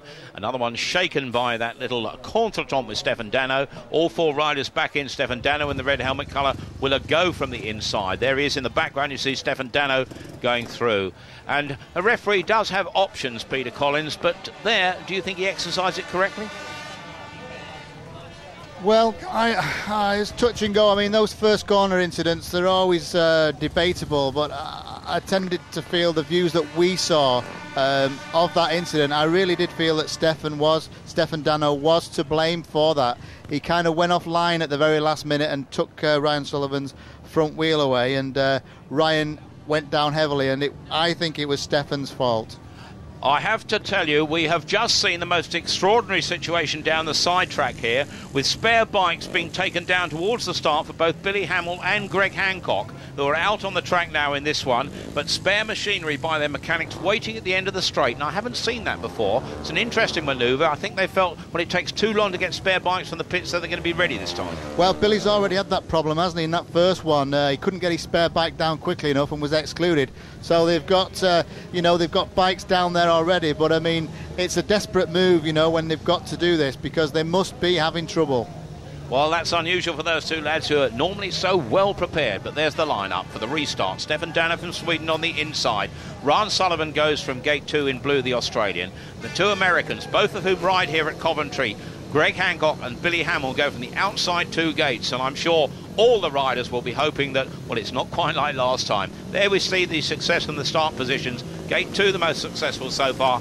That a little bit unusual. Our starting marshal walks away. Here we go for the restart. Up go the tapes. Danno looks down at his machinery. Coming across well, Hancock in white. Picking it up on the outside, Billy Hamill in yellow. He's left no space at all as Danno comes across. Going through in blue is Ryan Sullivan. Now the battle is joined. The gate shut well and truly on Hamill, who now has to battle from the back. But Hancock's got a flyer out front. Interesting tactics on that bit. There's some great racing here going on, Tony, but Greg Hancock's made the start and he's away. He's getting a good lead, but behind him there's all kinds going on because uh, Billy Hamill's at the back having a big run around the outside of Ryan Sullivan. Ryan was up to second place at one point. Now he's back in third. Stefan Danno's back into second place. There's all kinds going on here out on the track, Tony. Hamill almost up against the fence there. Sullivan up against the back of Stefan Danno. Hancock in no trouble out front with a lap to go. Hancock is wheel perfect on this one. In second place at the moment is Stefan Danno, but it's not all over yet. Ryan Sullivan storms through on the inside there to take Danno wide. Danno will try to come back. Hamill's out of this. Here comes Danno again, but Hancock holds it, and just on the line, Sullivan gets there in second place in blue with Stefan Danno. Really in third place there in red. Hancock out front in white. That was perhaps the race of the evening. That man, Greg Hancock, took the checkered flag. Will be delighted with that because he got away from the mayhem. But the action for the minor placings was quite obscene in some way. Hancock, Sullivan, Danno, the finishing order. Danno and Hamill will have to go again. Greg Hancock and Ryan Sullivan will march on from this Heat 13. Oh, what a fantastic race there. Greg Hancock makes a perfect start in the white. He's out of the picture. You can see his back wheel accelerating away. That on the inside is Stefan Danno. Stefan's made a good first turn. There's Ryan Sullivan on the SVR dirt track team machine.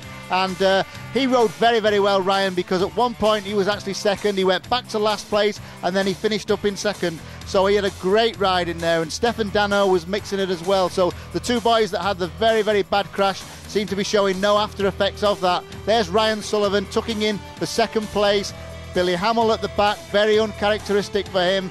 Now this is the last turn. Stefan Dano's trying everything, so much grip over the line, shunting into the side of Ryan Sullivan, but Ryan did it just enough to stay ahead and uh, there's Ryan Sullivan coming from last position right up to second. He gets the wheels in line so early. He gets a great run down that back straight. So much speed.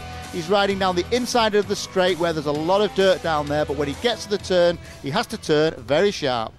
Well, the action is tending to build up here. It really is moving with a vengeance. And uh, Chris Louis there we see going out. He'll be wearing the yellow helmet colours in this one. The man, there's world champion Tony Rickardsson on the inside in red there. The man in white already up at tapes. That is Michael Karlsson. And uh, certainly there's going to be another battle here. Each and every heat now, Peter, seems to be really something pretty special. There's a problem there for Tony Rickardsson signaling towards the pits now. He has machine problems. I wonder how much is it due to the intense heat here tonight? Whoa, I couldn't say about that. I mean, Tony's been going so well of late. I mean, he's been breaking track records all over the show. He got 17 at Bellevue uh, only two weeks ago.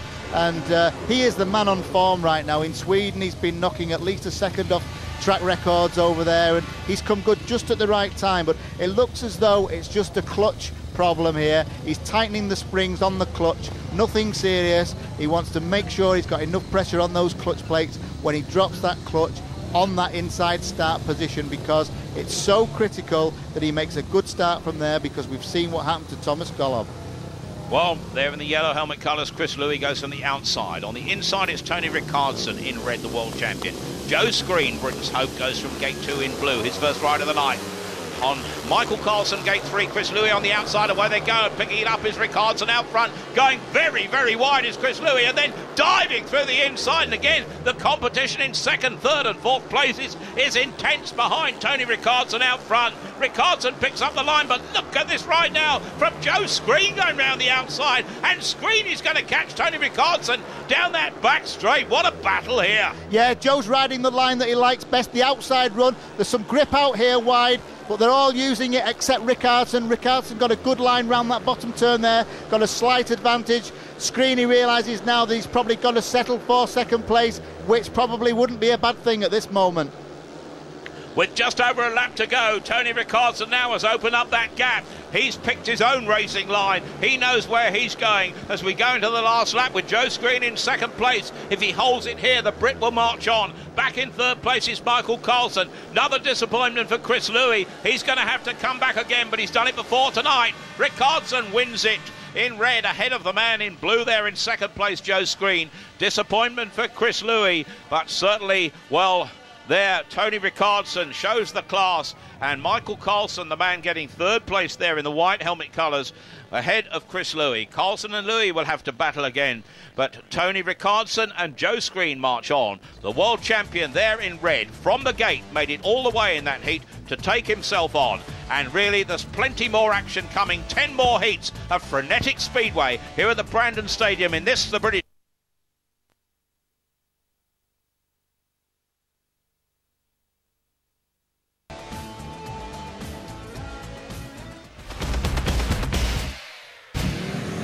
Welcome back to a balmy evening at Brandon in Coventry. It's the British Grand Prix, and we're well into it. These the scenes from the pits, and we're here just above that, only about 15 yards away. We can hear the bikes revving up, can't we, Sam? That's a great place to be for a Grand Prix. That's perfect. We got the best seat in the house, uh, I think. No question about it. Great to see uh, Joe Screen riding well. Interesting, the line he chose very much on the outside, Rickardsson very much on the inside. I mean, Tony knew exactly what he had to do, and I tell you, this track, I mean, Ryan rode the best line in the race before that when he passed Stefan Danno. Stefan Danno chose to stay on the outside, and I think Tony's seen that, and he just stuck right on the inside. Joe had everything to go for. He had to make sure he got that second spot, and he had Michael Karlsson, which is an outside rider, so they both you know, race chasing the same line. So, I mean, uh, Joe had only one place to go, and that's where he feels comfortable. Tough question, Sam, but at this stage in the Grand Prix, who's looking good? Who's looking hot? Who's looking to make that A final? You know, the sneaky guy that always seems to do well and has made, I think, almost every uh, final so far is Jimmy Nilsen. He's doing, uh, he's just snuck in there and won the first one. Um, I think the other guys, nobody's really paid attention to Jimmy at this stage because um, all the excitement's been afterwards. And but in his first race off the inside, he looked so smooth and dominating. Like I can tell you, Jimmy Nilsen was looking cool, calm, and collected. You remember we saw him in the Elite League on Wednesday. He was on flying form and was ready at that point. So even four days ago. He is the only rider to make all three um, uh, finals, so a final so far. So if he stays in contention and Gollob has a bad meeting, he's got everything to win here. Yeah, Gollob and Nilsen, it looks, will take it all the way to the wire in this championship. Let's go back to our commentary team as we start our next heat. Remember, heats 15 and 16 are heats that see two more riders eliminated from each, and four more go out as we build up to the climax of this British Grand Prix. We said earlier it's mighty hot, it's mighty humid, and the crowd here in their shirt sleeves are certainly enjoying it. They're battling in the pits, mechanics, team managers, and riders alike all playing their part. In Heat 15, of course, Chris Louis goes from the outside gate, and it's going to be tough for Chris Louis, who we see there looking down at his machinery. There is Chris Louis doing his own clutch repairs and really not relying on mechanics, PC. He wants it just his way. Well, when it comes down to a clutch, that's a very personal part of the bike. That's your contact with your bike onto the track, and uh, Chris knows that he wants it just how he wants it. You can't expect a mechanic to do that exactly how you want it, and he's in there. He's now doing the adjustment on the cable. He's just checking the clearance in that. Well, the referee's put him on two minutes, so he's got to move towards the tapes here because there's going to be something wrong if he doesn't get there. And uh, Chris Louis is taking all his time, and I'm worried for him that the referee will exclude him. We, we haven't seen the clock for the moment on this countdown, but the referee has put him on two minutes. The flashing light is going, and Chris Louis has an awful lot to do to get there still. I just wonder if he'll make it.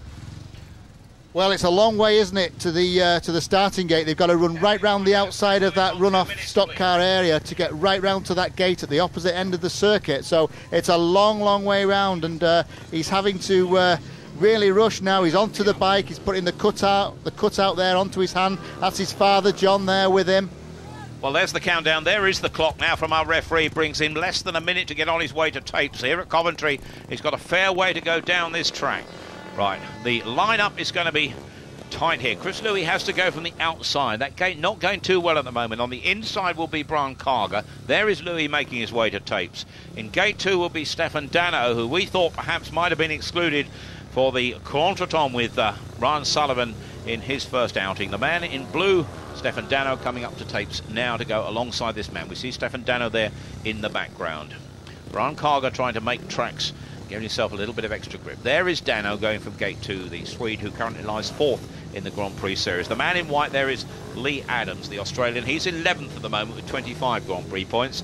And on the outside is Chris Louis. That's the lineup. Karger on the inside, Danno gate two. Leigh Adams goes from gate three. Chris Louis from the outside. Louis needs to make the start here, Peter. He does. He's got to make it because this is an elimination heat, and if he's not in the first two, he'll be back to the pits, back to the showers, and home in his van. Starling Marshall moves away. The riders look across. Louis keeps it down, but he's trailing here. Will he come round? He's oh, a lovely move by Chris Louis. He watched, he waited, and then he went, and he's done it well here behind Leigh Adams. Chris Louis saw something we didn't on that first bend. Took a totally different line, held back and cut through the inside. But now look, he's been passed by Brian Karger, and now Louis got to do it all over again. He's got a race as the British captain here now. Out front in white is Leigh Adams, ahead of the rider in red, Brian Karger. But look at the action here, and now Louis right at the back. What's gone wrong for the Brit? Yeah, Chris did all the work on that first lap. He went up to second place, that qualifying position, but then he just doesn't seem quick enough. He's used that inside line again. We know he rides very, very good round the inside line. He's using it again, but when he gets to the straight, he just hasn't got the speed. But it, at least he's in pursuit now of Brian Karger, but he's got one more lap to do it, and it's looking slim for him right now. Leigh Adams looks back. Chris Louis will have to battle the action in second place. Chris Louis, can he come through? It's oh, is he going to do it? Yes, he's done it. Chris Louis, he could hardly have left it later behind Leigh Adams in white. The crowd goes mad because Chris Louis, with just 10 metres to go, but every effort of strength every effort of speed. And what a tremendous performance to stay in the event by Chris Louis there behind the race winner Leigh Adams. He's blowing kisses, he's waving. What a tremendous performance. It's all happening here. It's a tremendous Grand Prix. But in our studio, one of the greatest speedway riders ever is with Jonathan Green. Hans Nielsen's there. Great. Hans Nielsen is enjoying this, I'm sure. Uh, how did you enjoy that last heat?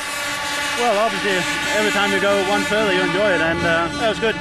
What about what you've been up to? We were watching, and it looked like you uh, rolled off almost to, to, try and get yourself onto that third um, gate for your heat coming up.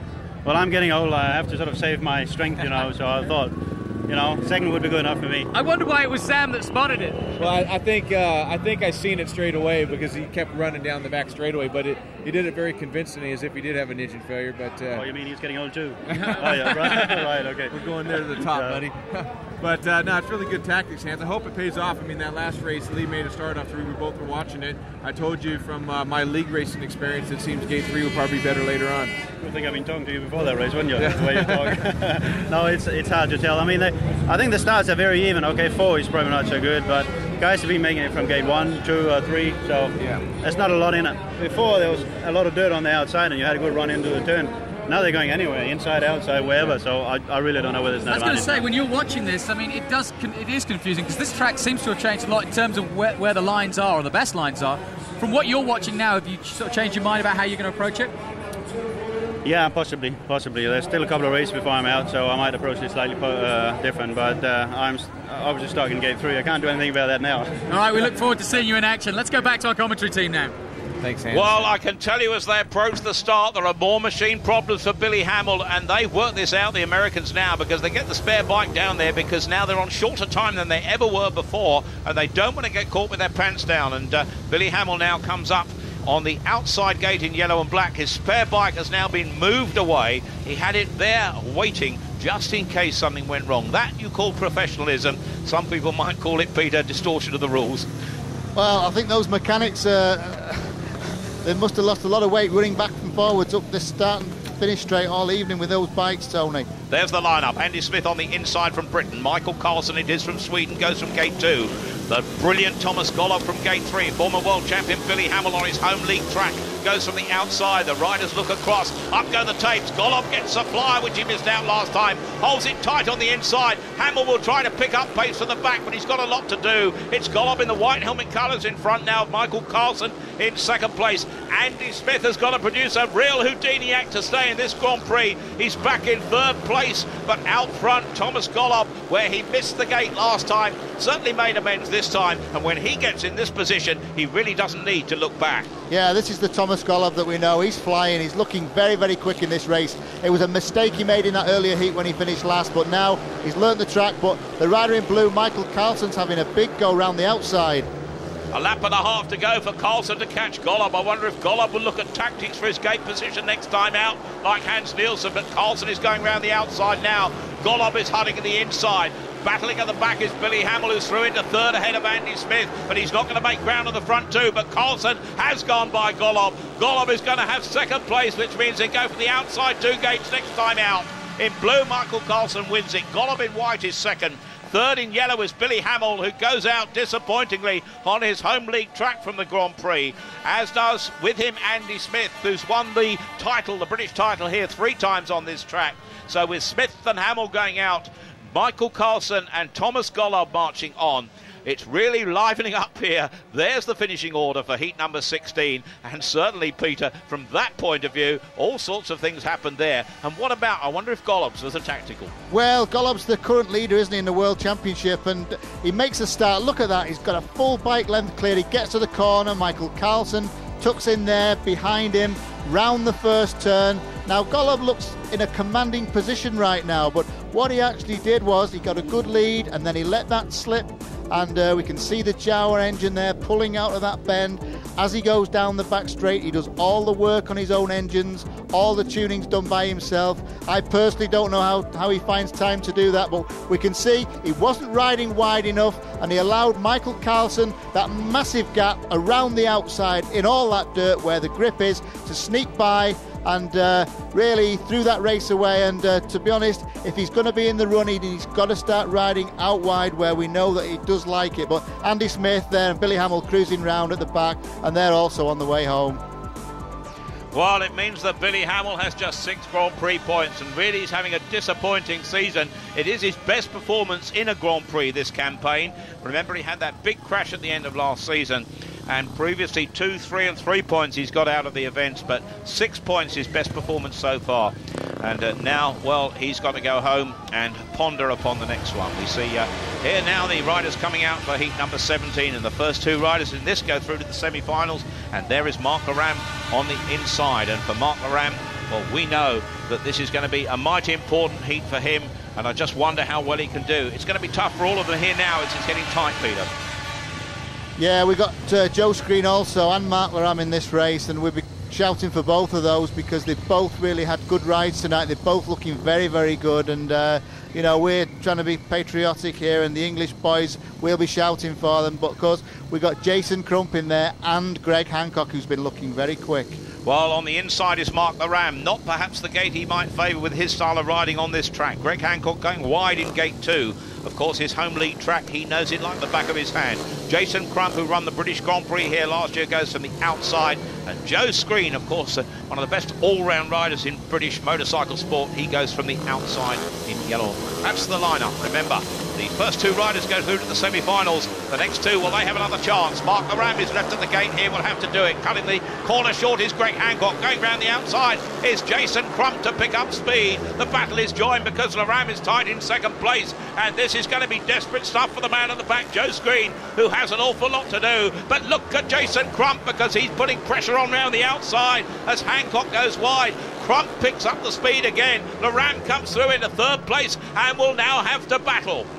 Yeah, the two racers are at the back screen and Loram. They're both struggling, but they're right in touch with uh, Jason Crump. Jason's having to ride all over the track to maintain that lead, but Greg Hancock's out in front in the blue and looking strong. Loram, though, is putting pressure on the man in white, Jason Crump. Hancock now seems to have got his act together. Hancock is going to look very difficult to beat here. Into second place goes Crump. Loram looks done for in this one. He'll have another chance to make it through to the semis, but he'd have to have another race before he does so. Loram in third place here now. Tailed off at the back now. Disappointment for Joe Screen. Time for Hancock to look back as he wins it in blue, ahead of Jason Crump in white.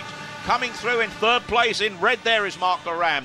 Tailed off at the rear is Joe Screen. Loram and Screen will have to go again. Greg Hancock has a word with Jason Crump. They finished in that order. Hancock and Crump march on to the semi-finals from Heat 17.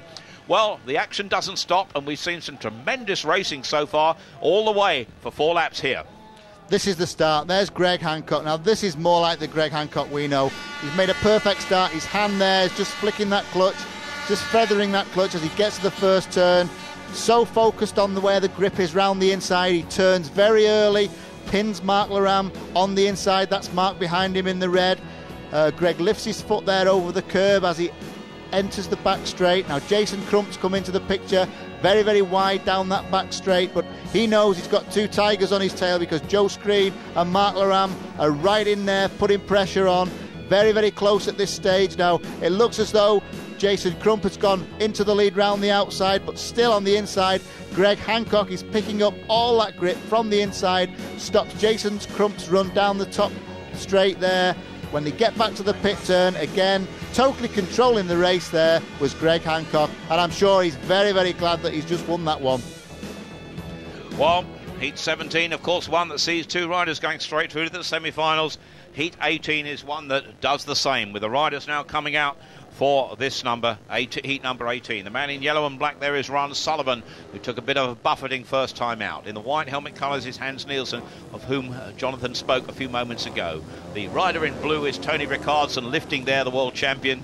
He will be going from gate two in this one. The man on the inside is Jimmy Nilsen, who has only had one race so far, as has Rickardsson and certainly doing well in both of those. Jimmy Nilsen winning Heat 12, Tony Rickardsson winning Heat 14, Hans Nielsen well, probably should have won Heat 11, but wanted apparently to get gate number three, and that's exactly what he's got. Ron Sullivan will go from the outside. There is Hans Nielsen making space, making the ideal start for him. Yeah, that's Hans doing some gardening there. We know Hans always likes to spend a bit of time doing this. It's important that you get a nice rut or the, the actual perfect position that you need, the ideal spot, because it's so critical to get out of that start. The back tyre's got to get all the grip to that first corner, and uh, Hans is the master at it. We can see he was even off the bike there, kicking away at the bit of circuit that he wants, and uh, that's the bit where all the grip is for him. Well, there we see gate number two, the best one so far, and that's where Tony Rickardsson's going from. The outside gate perhaps not going as well as we might have thought. 15 seconds to go now to get the riders into place. There is the new sign they have here in the Grand Prix because riders were concerned that they were not getting enough warning that the referee might exclude them. And uh, Tony Rickardsson struggling to get up the tapes here now, but they are all in line. This heat 17, a heat 18. The first two go through to the semis. Away they go in line and picking it up. Rickardsson well. Held back at the tapes is Jimmy Nilsen. Nilsen on the inside going right. On the outside is Hans Nielsen. Picking up the grip and being balked a little bit by Nilsen in second place. Ron Sullivan is at the back. Hans Nielsen, I don't think he's going quite where he wanted to, but he's picked it up now and he's put the pressure on Nilsen round the outside. Hans Nielsen might have seen something here. Now he comes through and he goes through the two like a meat in the sandwich into second place. A truly brilliant ride in second place by Hans Nielsen.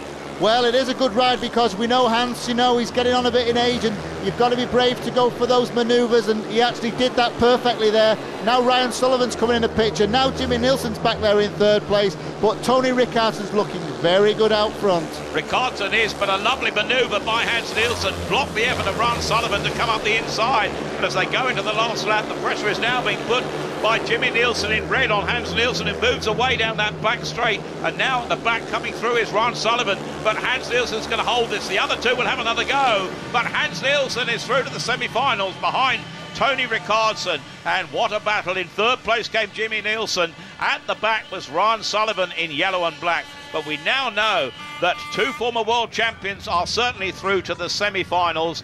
And from their point of view, well, glory is about to beckon. And the action, as I said, continues to hot up here at the Brandon Stadium, Coventry. Tony Rickardsson ahead of Hans Nielsen, automatically through to the semi finals. And well, We've had 18 heats, there are six more to go of fantastic action here at the British Grand Prix. Those follow after the break.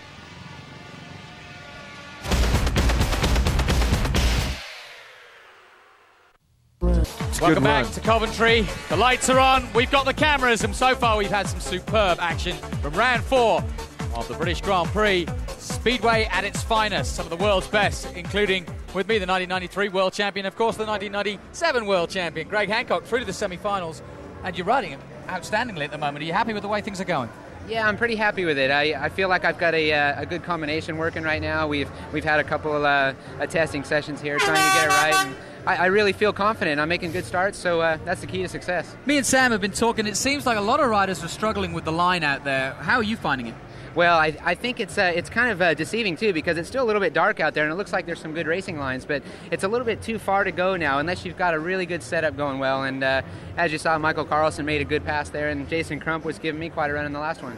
What do you think? I mean, I watched a couple times, and uh, sharpness at the start is the key here. You made a couple of blistering starts, and it was just from the word go, it was like bulleting out into the corner.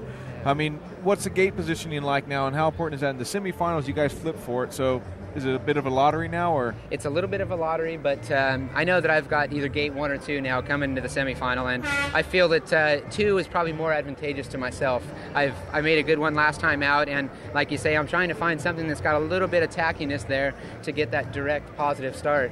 And I've had it sort of probably three out of four starts, and I feel good. But I'm not sure about gate one. It's not a disadvantage, but I think two would be more my favorite. Righto. Briefly, Greg, how big is this night to you? We've talked about what happened to Billy Hamilton. Obviously, your buddy's really disappointed. But what about you tonight? Oh, this is uh, this is make or break for me. You know, I mean, I'm still chasing rostrum position, and anything can happen in the world of speedway. So, on my home track, I know people are expecting a lot. I'm expecting a lot. I'm going for it. All right, let's go back to our commentary team at Peter Collins and Tony Millard. Thanks, Greg. Kick some. Well, as we look now at Heat 19, the first two go to the semi-finals. The second two are eliminated. So this is a vital time. It's glory or bust in this one. And really the competition because Mark Loram in the white helmet colours, the man in red there is Leigh Adams, but the battle I'm looking forward to is Thomas Gollob in gate two in blue there. And in the background is uh, Mark Loram. And uh, there will be no prisoners taken, I'm sure, in this one. Ron Sullivan goes from the outside in yellow and black. Yeah, the track's drying out a little bit, Tony. It's it's quite um, there's not such a lot of grip around the mid track to the inside. As uh, Greg Hancock was saying, there is a lot of dirt out wide, and we do know that Mark Loram and Thomas Gollob do like to ride out wide. Uh, but Leigh Adams is very fast from the start. Well, we've got a problem here because Ron Sullivan hasn't made it. The two-minute warning is on. There's a lot of frenetic action away to our right that you can't see in the pits as we're waiting for Ron Sullivan to come and complete the quartet here. And there we see him coming out. The Australian is going to have to rush a little bit if he's going to make the start here. And I'm sure that our referee, Mr. Istvan from Hungary, will have to be a little bit patient. But uh, there is Ron Sullivan on his way and uh, moving away because uh, visors tend to uh, steam up in this weather and uh, certainly Ron Sullivan getting down the track now. The other riders not too happy at being kept waiting. There's the lineup. Leigh Adams, the Australian, goes from the inside. Thomas Gollob, the flying pole from gate two. Mark Loram goes from gate three. And on the outside is Ron Sullivan in yellow and black. That's the lineup. This is heat number 19. This is going to be vital. Remember, it's glory if you finish the first two. It's disappointment. You're eliminated. Last. Starting Marshall moves away, away they go, and on the inside, it's a great start by Leigh Adams. Thomas Gollob holds him tight, coming around the outside and picking it up. Mark Loram. Gollob goes through now. Loram goes through behind him. Loram's chasing Gollob now in second place with Adams relegated to third. The Brit is battling here. Leigh Adams is, oh, he's bolt Mark Loram. Loram's going to have to go the other way round as Adams comes wide. Loram now comes up the inside. Oh, there's a battle in second place, but pole position is being held by Thomas Gollob out front. But Mark Loram there in the white helmet colours is not going to give up trying. Yeah, if Mark can get a good run around the outside, we know he can do it, but that time he went too wide. He's been pushed off the racing line. Ryan Sullivan's now sniffing there for that third place. Well, there's a lap and a quarter to go. Mark Loram is not done. He's now trying the inside. Inside Leigh Adams, but he's got work to do here. Out front is Thomas Gollob. Last ditch attempt by Mark Loram to pick it up. In second place is Adams. There goes Loram down the back straight. Can he spring a last minute one on Leigh Adams here? He will come back up the inside on this one. He will try. He will do it. Oh, the referee's got to make the decision. That was really close on the line. I wouldn't want to be in the referee's shoes. I wonder if we can see a photo finish in that because Thomas Gollob undoubtedly won it. But the battle between Mark Loram in the white helmet colours and Leigh Adams, well, they've given it to Leigh Adams on the final captions there. But I think we must see the replay of this because I'm sure that Mark Loram will think he almost got there and it was desperately tight. How the referee can give it that quickly on the line, well, I really don't know. The replay from the start, well, the battle was joined, but the finish is where the action really is. Tony, what a fantastic race, but you really got a feel for Mark Loram. As far as trying was concerned there, he gave 200%. You can see there, he was right in the thick of things all the time. Thomas Gollob didn't look particularly quick. He held the race up a little bit. You can see Thomas there, the way he just sneaked past the outside of Leigh Adams. Now, Thomas doesn't seem to pull away. There's all kinds of action going on behind him. Now, that's Mark Loram there trying the big blast around the outside, down the bottom end. Mark again's on the outside. Leigh Adams is on the inside. But you can see Thomas, Thomas in the blue helmet. He's not pulling away. You can see Leigh Adams is there. It looks as though Leigh Adams is going to go by Thomas Gollob. As they cross the line there, Mark gets pinned onto the inside, which was a bad place for him. And uh, but what an effort from Mark! Full marks for trying. Well, he tried all the way, but I'm sure we're going to have a chance to see the freeze frame. It was near, so near and yet so far for the Brit, who's battled all night. He's had some things to contend with here, but uh, Leigh Adams certainly in second place. And really, from this point of view, as we're moving on to the next heat, I wonder if we can have a look at the freeze frame. There is the freeze frame. Referee absolutely right. It was a matter of some 15 inches on the line, but Kelvin Tatum is among the action in the pits. Okay, thanks, Tony, very much. Um, uh, joining me now is Tony Rickards. And Tony, you've really been looking like a world champion tonight. Yeah, it's been going great. You know, it's uh, hopefully I can have a trouble-free GP. I've been feeling great all year, and I think I've been uh, at least as good as I was last year. You know, it's just things hasn't been going my way in the GPs, but I hope I can have a trouble-free tonight and hopefully pull off a win. I think that um, uh, you know, like you've won two races really convincingly. Uh, yeah, okay. Sorry, we've got a break there, and uh, well done. Hopefully, we'll talk to you later on. Back to uh, the commentary crew. Kelvin Tatum rushing in the pits just like he has to on the racetrack, twice times world long track champion. But here the riders on the in the action for heat number 20, where again the first two go through to the semi-finals and the last two are eliminated. The rider in white there is Jimmy Nilsen, the current rider lying second in the World Championship Grand Prix behind Thomas Gollob. Chris Louis, who provided some really frenetic action for us, goes in blue. He's from gate two. On the inside in red is Michael Karlsson.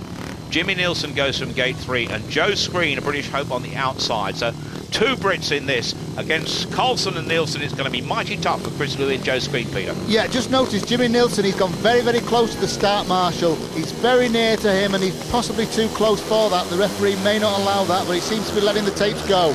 He's letting go, but picking it up in blue is Chris Louis, and Louis is the man in charge here, and if he can do it, he will get through to the semi-finals. Remember, only two British riders have ever made a main final. Chris Louis is one of them. Can he do it again tonight? But at the back, backing up, is Michael Karlsson up against the fence. So one has gone. Can one more go to allow the Brits to do it? Because Joe Screen is steaming round the outside.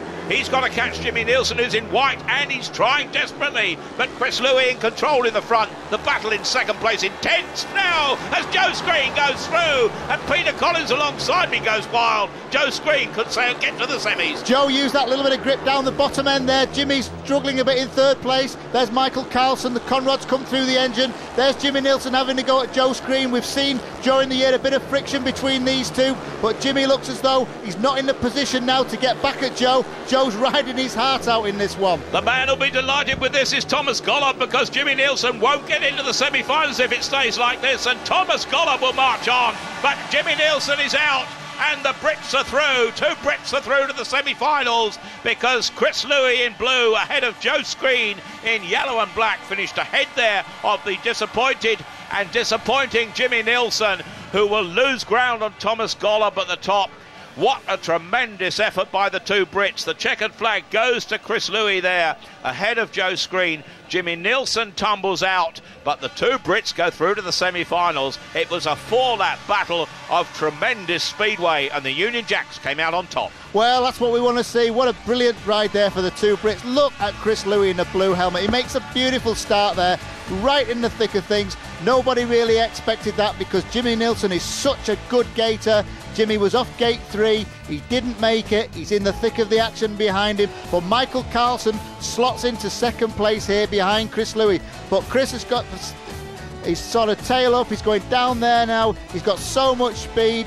And uh, Jimmy Nilsen now is going round the outside. But there, entering the bottom bend, Michael Karlsson, some serious uh, problems there with the bike. It was either a chain breaking, uh, there's all sorts of sparks coming off that rear chain, or something very serious has gone in the engine. But this is where uh, Jimmy Nilsen, on the outside of him, just avoids that accident there with the engine from Michael Karlsson. Well, disappointment there for Michael Karlsson, but glory for the Brits in the white helmet colour there. Jimmy Nilsen overtaken by the rider in yellow and black, Joe Screen. From then on, it was Britain one and two with Chris Louis in blue and his teammate or international teammate Joe Screen in yellow and black. Two Brits go through to the semi-finals. The action is thick and fast, but in our studio, Jonathan Green and Sam Ermolenko know all about it.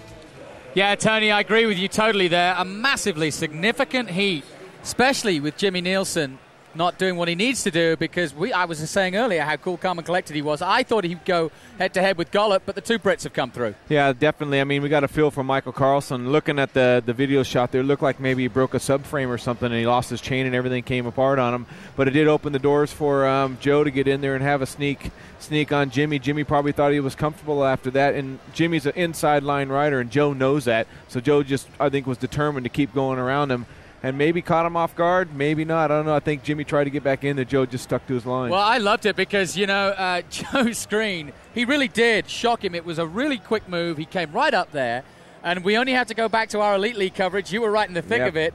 These guys have come together on a couple of occasions. They're not the best of friends. No, that's times, right. I mean, there, there's a lot going out there. I mean, right now it's real important on who gets into that uh, the semifinals for the finals, and Jimmy has everything to go for. And whether he was taking it easy or not, I don't know. But uh, Joe definitely was hungry, and I don't think he had any hard feelings uh, taking the line. What about the style of Joe Screen? Because um, quite quite impressive tonight. Well, I mean, this track probably isn't going to suit him later on. I mean, it's, there's a bit there for him right now, but he's chasing the outside lines, and it's it's really difficult uh, if there's not enough grip there, and if you get stuck out there and somebody sneaks underneath you.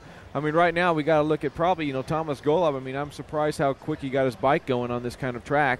Uh, he's done well. They're watering the track a little bit, so maybe there'll be a little bit of dirt. Gollob's the kind of rider like that, so screen, so maybe there's not going to be enough room for him out there. We haven't mentioned too much about Chris Louis, the unassuming great champion of Britain. He's through, he's gone quietly through, and it's been somewhat of a big meeting for him, but he's right where he needs to be, and of course, he's down in the pits with Kelvin Tatum. Oh, thanks, Jonathan. I'm joined, as, as you say, with Chris. Chris, uh, that was a superb last ride. You win, won that. Uh, have you made any changes? Because earlier on, it looked like you were struggling a little bit. Yeah, early on I was riding a bike that I had faith in, and uh, you know how it is. You want to keep riding it, keep making changes. In the end, I decided I was struggling too much, so we changed bikes, and uh, I was glad to go off something other than gate four in that one, and actually made a start, and uh, it was a bit easier. So I'm happy with this bike. Yeah, well, that's that's super, and obviously you, your your Grand Prix uh, this year this year hasn't been so good. Your performance haven't been so good, so you, you must be delighted that you're doing well at home in your home Grand Prix. Yeah, I've never had a good uh, English Grand Prix. I've always had mechanical problems, and one thing or another going wrong. So uh, fingers crossed, we're getting set up a little bit better and better as we're going through tonight, and uh, semi-final. Let's hopefully I can make that final. Sure, that's looking good. Well, um, uh, good luck for the rest of the evening, and uh, back to, uh, to go back to the studio now. Thanks, Kelvin. Yeah, you know, it's interesting. Chris Louis, he is a quiet man, but I tell you what, inside his heart right now is burning a need because we mentioned at the top of the program, he may not be up there trying to you know, to win the whole championship. But he wants to be desperately in the Grand Prix next year. And, you know, a, if he wasn't going to do well here, there was a possibility he could be dropping Well, down. I mean, everything's on the line right now. Those guys on the bottom, I mean, Chris isn't in the top of the standings. Like, he's not in the top eight, so everything's important. There's a, a couple other guys in the same position, you know. So to do it on his in front of his home crowd, he's got to be pretty pleased about it. I mean, to be able to have the courage to change a bike, get off a bad horse or a good horse, you know, I mean, what do you do? So he made the right decision, and it worked out for him. A lot of good men have gone down today already. Let's take a look at who's been eliminated already, Sam. Andy Smith, a great valiant effort by him. He started so well. The big one, obviously, Billy Hamill. He, at 21st in the championship, desperately needed to turn it round. It wasn't to be. Michael Karlsson out, and also Ryan Sullivan. Yeah, I mean, Stefan Danno had a chance of possibly squeezing in up there in the top and, the, and maybe getting the rostrum position, so it kind of was really, really bad for him. In the end, though, the most significant in terms of the championship, Jimmy Nilsen, and a real shame for Mark Loram. Everybody wanted him to do well. He's been on such a high. He's already won a Grand Prix, but you know, Jimmy I bet, I bet you Jimmy right now is in the pits hoping that Gollob makes a big mistake in the next one to keep a fighting chance. Because if Gollob makes this final now, um, pretty much I think the, the, the, gods the gods are on him because he's at his home track now in uh, in Poland next, and uh, man, it's gonna be hard to beat the guy. Well, through to the semi-finals already. Greg Hancock, Hans Nielsen, the old man has come through for Denmark. I was talking to the Danish TV guys, and they were saying that he was past it. Well, you can look at that semi-final lineup and know that he's not. Thomas Gollob, well, yes, 23 riders, I think, want to make sure that he doesn't get any far. But Thomas Gollob is riding superbly. Joe Screen's through, Rickardsson through, as is Jason Crump, two-time winner of the British Grand Prix, Chris Louis of Britain, and Leigh Adams. Let's get down to our commentary team for the next heat. Heat number 21 brings together some Greg of the it, aces in World Speedway. There is Thomas Gollob, who'll be going from gate three in white. He is a big threat. The man in yellow and black on the outside is Joe Screen, who produced the goods on the final lap of his semi final. Hans Nielsen, the professor, the master of Speedway, goes from gate one. Former world champion Greg Hancock on his home league track here at Coventry goes from gate two. This is quite a lineup. Do you think, PC, that Gollob in gate three is where he'd like to be? I think that's a possibly a good place for him to be, but I don't think he's quick tonight. He doesn't look very fast in that last race. Uh, there were cracks there in as far as he was holding the race up. He won it, but he didn't look quick enough. Well, there's no second chance in this one because the first two go to the final. The next two have the consolation final. Gollob is held back. Nielsen picks it up on the inside. Gollob's back in third. Coming through in blue is Greg Hancock to pick it up. Gollob is now last. They'll want to hold him there. There'll be 73 riders in the pits hoping Gollob can stay out there. In front now is Greg Hancock in blue. Second place is Hans Nielsen. Has got a lot to do in third place because coming round the outside of him is Joe Screen. But this is something of a shock, PC. Yeah, Gollob struggling there in third place. He's having a real ding-dong with Joe Screen. Uh, he's got past Joe Screen, but I think Joe's got him back now. Hans Nielsen is their target because they know they've got to get past Hans to get into the final. But of course, here we go. Joe Screen is having to go. Hans Nielsen's got a bit of a lead. Gollob locked up and been coming out of that bend. Gollob has a lot to do to make the final tonight as they go into lap three. In front is Greg Hancock, a former world champion. In second place is Hans Nielsen, three times a former world champion. In third place is Joe Screen, and Thomas Gollob is going to go out. Thomas Gollob is retiring at the top end, but a great ride by the rider in blue, Greg Hancock, ahead of Hans Nielsen. Both of those go through to the final. Two former world champions. Joe Screen in yellow is in third place. Thomas Gollob has packed up. He's getting booed by the crowd. I'm not quite sure about that. Something seriously wrong, he claims mechanically, but I think he'd be desperately disappointed because Thomas Gollob finishing there will only get into the consolation final, and that means there is a chance for people to pick up points on him. And really, the riders making that final tonight Hans Nielsen and Greg Hancock. Greg Hancock's currently eighth in the standings. Hans Nielsen down at 16th, and the gaps will start to close. Yeah, we forgot all about Greg Hancock there. You can see Greg right in the middle of the pack there. He missed the start. Hans Nielsen's leading coming out of the first turn. But like I suspected, uh, Thomas Gollob just was not quick enough because he didn't make that start. And there he is walking back to the pits. Very disappointed. Not going to be in that A final. Can that Grand Prix lead be slipping away from him? It definitely will. And is that world title still in his grasp? Well, Greg Hancock, the winner, through to the final. Hans Nielsen, former world champion, through to the final. Joe Screen, short of a place in the top eight, which means the main event next time out. Thomas Gollob will be in the main event next time out, but dejected there now, the highest paid sportsman in Poland, because he will be desperately disappointed.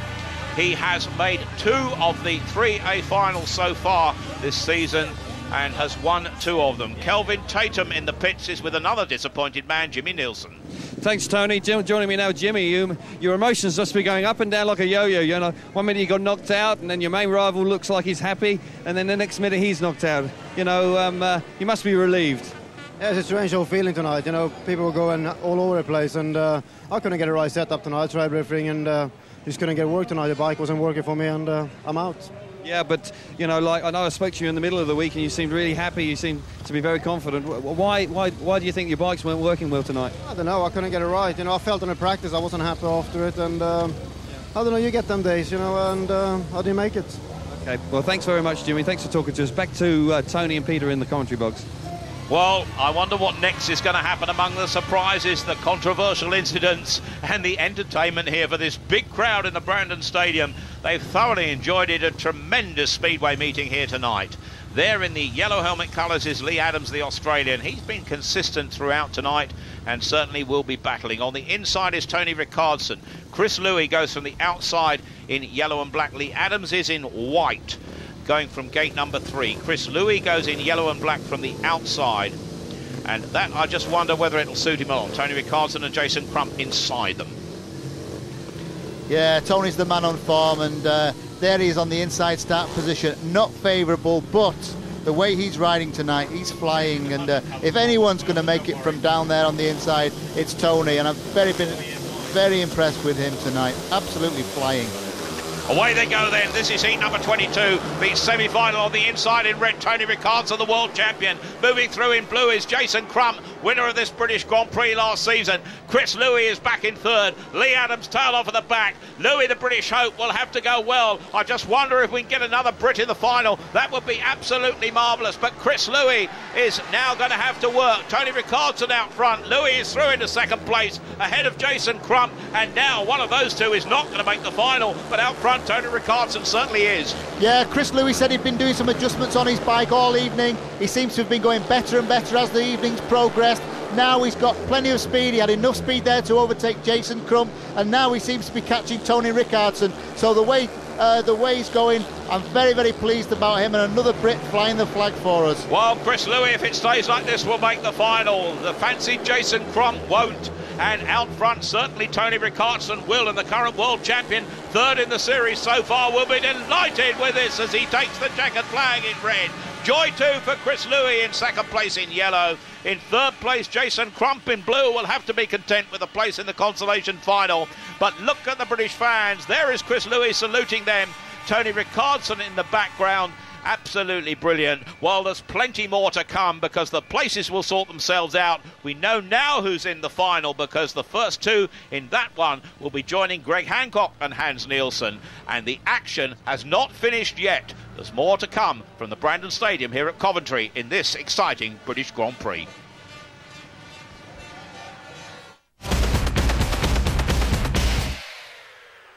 Gets better and better as we go down to Brands Hatch for round nine of the World Superbikes. Carl Fogarty and the boys will be in action. It all starts at 11 a.m. I'm whisking myself down there as quickly as I can, but not until this is complete. The British Grand Prix of Speedway here in Coventry. And it's really looking to get uh, to a heck of a final. Sam Ermolenko, we're really enjoying it. We've got the best seat in the house. We've said it already. We've also had seen some great rides, and in terms of the permutations for the championship, it's a lot of significance here. Well, I've been trying to work all the maths out here. I mean, that's another part we got to do. But um, I mean, Gollob, I mean, he's 65 points right now, and Jimmy not having any chance of making any points by getting in the consolation or the final. Things are up and down. I think Tony Rickardsson's probably in the driving seat of this one. If he can go out there and win that one, and Gollob finishing low in the in the in the consolation race, the, the, the championship's wide open. Well, one man is doing great well. Of course, is Joe Screen of Britain. He's with Kelvin Tatum in the pits. Thanks, Jonathan. Um, a consolation final for you tonight, Joe. Are, are you happy with that? Yeah, really. Um, you know, I've had gate four, I think, three times, and gate four is not a good, good one for me tonight. Um, you know, I battled hard from behind. We, we, made a few changes for the last two heats, and my bike was working better. So, you know, we, we, we made a mistake with the gearing we started on, and um, but you know, I'm happy enough uh, in the consolation. You know, I want to get an A final, desperate, and uh, but you got to be you got to be pleased with this. Yeah, well, you, have been, certainly been entertaining us. You know, you've been diving inside and outside. Um, uh, you know, you've got gate three in the consolation final. Do you think that's going to work well for you? Well, it can't be worse than four. You know, I'm sort of um, sort of not making a good jump, and I was waiting for the riders to go in the corner before I made a move. And you know, I had a good race with Jimmy there. You know, me and Jimmy hasn't met since that uh, controversy, and uh, it was a good. You know, I, you know, I'm glad I got the uh, better of him, but you know, now I've got a better better start now, so I'm hoping. Um, to make a good one. I think I don't. I think Thomas is on one. I think uh, he'll knock us on the dog track before the first, uh, before the second bend. Anyway, thanks very much, Joe. Um, uh, best of luck in the consolation final. Back to you, um, uh, Jonathan, I believe, and uh, Sam in the studio. That's right, Kelvin. It's us, and uh, of Joe Screen's got that big old British flag on his. Hopefully, he'll be waving that to the crowd yeah. afterwards. I don't care whether he's aware of it, waving it or not, because we really want him to do well. Yeah, now he's feeling pretty proud. I was just looking at, you know, Joe's in eighth position at the moment. Well, actually, I should say that Joe's got to climb the ladder. He's seventh position overall in the Grand Prix right now. Greg Hancock is eighth, so Greg being in the finals is going to pull him up. But both Chris Louis and Hans Nielsen that are both in the final are in 15th and 16th spots, so they need that final to keep in that top eight. Yeah, at the beginning of this meeting, not so much Hans Nielsen because he's dropped out of the limelight, but certainly Chris Louis in this country desperately wanted to do well here, not only because he hasn't done well at British Grand Prix, but because of what we mentioned earlier, the fact that these guys are all trying desperately to get into the Grand Prix next year. It's pretty important. It's only going to get tougher. The FIM does change the rules around a little bit, but I think this year they got it right for the for the challenge and stuff, and it's going to be a tough one for everybody. So it's important to stay in that top eight if you got the chance. Well, as you can see, Thomas Gollob getting ready for his consolation prize, really. But um, it's actually not a consolation prize. It's actually real important. Well, 15 points, yeah, 15 points. I mean, he needs every point he can. You know, he can't he can't sit back and wait for it. And uh, you know, all the other guys know that they, you know, they're probably all hoping that he doesn't really do very well. That's going to open up the, the, championship. But he's riding really well this year, and I wish him all the luck. Well, the bikes are headed out, and it is a significant heat for Thomas Gollob. He needs these points. He needs all 15. He wants to keep ahead in the championship. He will remain ahead of tonight. But Rickardsson is hot. Let's go to our commentary team once again. The mathematics as we look at Leigh Adams in red there is if he gets 15 points here, Thomas Gollob would go to 80 Grand Prix points. If Tony Rickardsson were to win the final, he would go to 66 points, and that would put 14 points in it. That's about as close as it can get. Already on 64 is Jimmy Nilsen. There is Thomas Gollob going from the outside. We've seen him in the league matches go from the outside. We know what he can do from that gate. He'll be diving for that bend, Peter, I'm sure. Yeah, I think Thomas will be a worried man right now. He can see some of that lead slipping away. He knows the best he can do is to win this B final, and if he's going to be world champion, possibly still won't be enough because he's got to be in there in the A, A finals regularly, and to me, he just doesn't look fast enough. Well, remember the next round is at his home track in Bydgoszcz in Poland, and that will be a tremendous advantage to him before the series uh, finishes at Vojens. But uh, now we have this consolation final. They are racing for places five to se- uh, five to eight in the Grand Prix series, and that means they get 15, 14, 12, and 10 points respectively in the finishing order. That's Leigh Adams, the Australian, in the red helmet colours. He goes from the inside. Next to him in blue is Jason Crump, surprisingly beaten. We thought he would make the A final here, having won the British Grand Prix last year. The rider in white is Joe Screen. We heard from him just a few moments ago talking to Kelvin on, the outside, the man who got the boos of the crowd when he retired in his semi-final, uh, Thomas Gollob. But I'm sure that he'll be going for those 15 points and retaining that lead. This is the lineup. The consolation final it is. Places 5 to 8. Peter, it's going to be tough this one, isn't it? It is. Uh, there's Screeny on the gate three position, and uh, he's probably a bit worried to have Thomas Gollob right next to him as they enter that first turn. The riders look down at the tapes. They try to creep. The man that creeps is Crump, but he does gets in front. Gollob now is stuck in third place. Will try and come through the inside. The gate shut on him by Leigh Adams. The Australians almost team riding at the back. Well, Gollob has packed up again. I don't know what he's waving at the crowd. Thomas Gollob is out of this one. Real disappointment for him because it means that he'll only get 10 Grand Prix points from this and it'll be even closer. This is brilliant for the rest of the Grand Prix field, but not brilliant for a very unhappy Thomas Gollob you see in your picture there. But Let's look back on the track here because Jason Crump is marching ahead of Leigh Adams and he didn't like that. He's protesting to the referee. He's blocking the track. There's going to be controversy here. He's standing on the finishing line. He's moved his bike away. He's having a go at the referee. The action on the track is relatively unimportant because Thomas Gollob, as they go into the last lap, we didn't even see the starting marshal putting the, the, the, the flag out. I think he's almost lost count of the laps. He said he didn't see the lights. Thomas Gollob is absolutely furious. I can't help thinking that was simply an excuse by him because he didn't make the start. Who knows? He kept going. He packed up. All sorts of things happening here. Thomas Gollob is far from happy, but the action on the track sees Jason Crump, who's going to get the valuable 15 points here in the blue helmet colours. Second in red is Leigh Adams. Taking the consolation place in white and valuable Grand Prix points is Joe Screen. But all of that has been overshadowed by the eclipse of this man, Thomas Gollob. They are celebrating the Australians. But Thomas Gollob is going to march. He's not allowed to do this. He's going to march onto the track, up to the referee's box. He's calling the referee down. It's a Hungarian referee. Well, the captions are up. Jason Crump, the winner ahead of Leigh Adams. But that man, Jason Crump, is allowed to talk on the phone to the referee. His entourage is going with him. Graham Reeve, the liaison officer from the ACU, is with him as well. And he's going all the way back now to speak on the pitch phone to our referee. But I wonder, Peter Collins, what will come of this? Well, nothing, uh, because basically I think it's something to do with the green light. Before the tapes actually go up, uh, the green light comes on, two or three seconds, and then the tapes. I think Thomas is Hello, claiming referee. he didn't see the lights come on, Uh, and uh, that's Thomas his fault. Gollob's representative would like to speak to you, please. Well, they've got his representative, all sorts of things happening here. Hello? The referee. Right, just speak to Thomas, please. Yeah. Excuse me, this is Thomas's manager. Listen, there was a red light on coming on out of, into gate into turn three.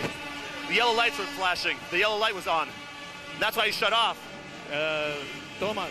Yes. The uh, flashing red lamp didn't work. You couldn't see any red flags. The flashing red light didn't work. Yeah, it, has, it, it was, flashing for, all over the track. It was for some seconds when the flashing yellow lamp worked. Yeah, well, the yellow But- was on. That's what not, I'm saying. Not, not uh, the red light, and you couldn't see any red flags. Sorry. No, the red light was on. It was flashing. The yellow light was flashing. No, no yellow, not the red, the Yeah, yellow. Yeah, the yellow light was flashing. Yellow for some seconds without any flags and without voice. It wasn't stop the heat.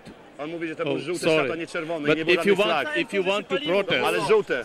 if you want to Uh, protest, could you talk to the clerk of the course, please? if you Mr. want to Mr. Mr. protest, you can do it, Thomas. Esteban, Uh, Mr. Van, uh, yeah, it's Graham Reeve. The yellow lights came on during the race. yeah, That's why he stopped. yeah. I, I know it, but it was the yellow light and not the red light. There wasn't any red flags. But if the rider wanted to protest, he put could do it. Hang on, just a minute. Sorry. If the Hello. if the right Ivan, it, Eastman. Yeah. Ole here. Yeah. East, what happened there with the with the yellow light? Uh, I don't know exactly. It, it didn't go out. Sorry. The- did the yellow light come on? Uh, yeah. Okay, we'll rerun the race. Yeah. We'll rerun the race. Okay. Yeah. Thank you. For me, yeah.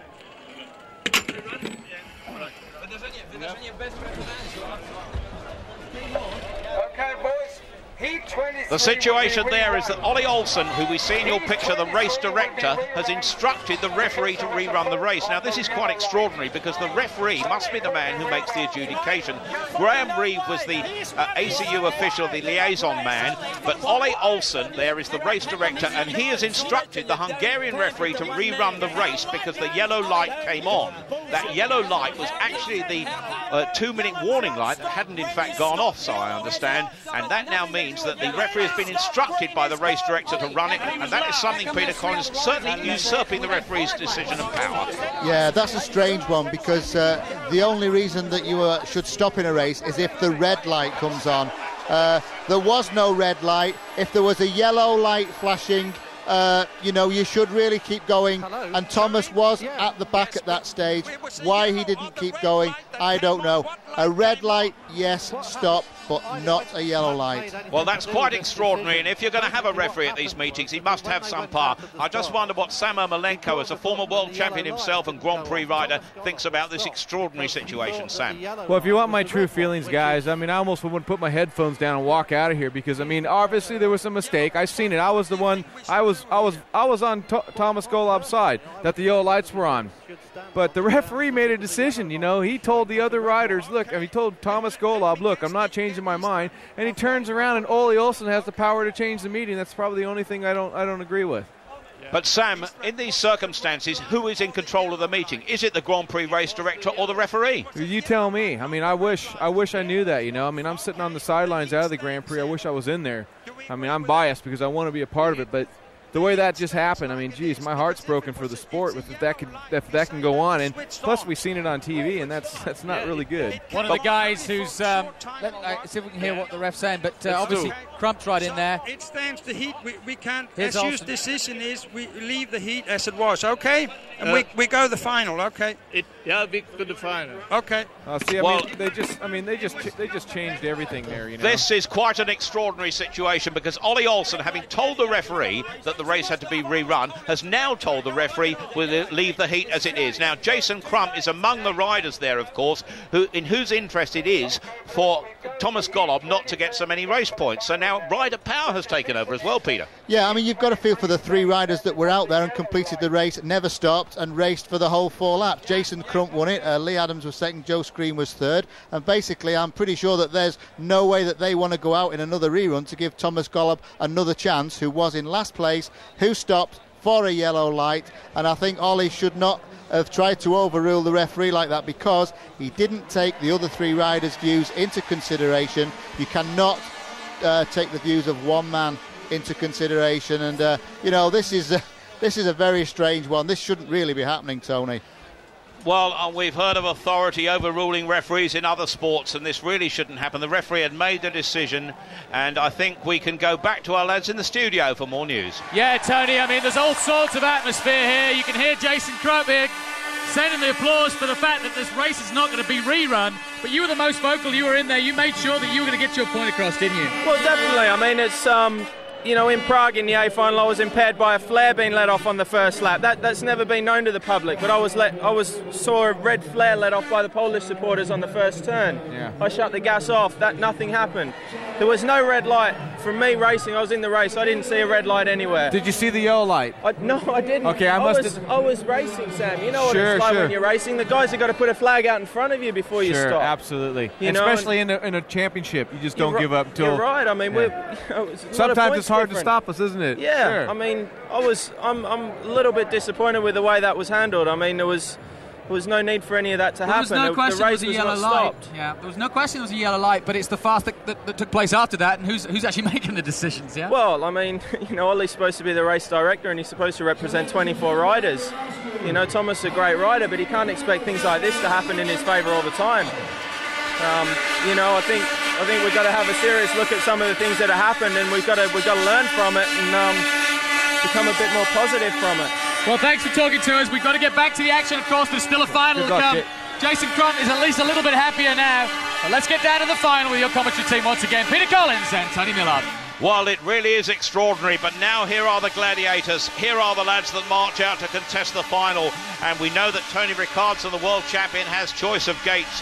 Greg Hancock will have second choice, and I just wonder whether we could get a surprise win. I have to say that uh, exactly what the lads were saying, Jason Crump was saying, what it has done is close the total down on Thomas Gollob to 75 points. He's now just 11 in front of Jimmy Nilsen, and really, well, if it goes the way, he will only be nine in front of Tony Rickardsson if he wins this. The decision may be right or wrong, Peter, but it's good for the World Championship.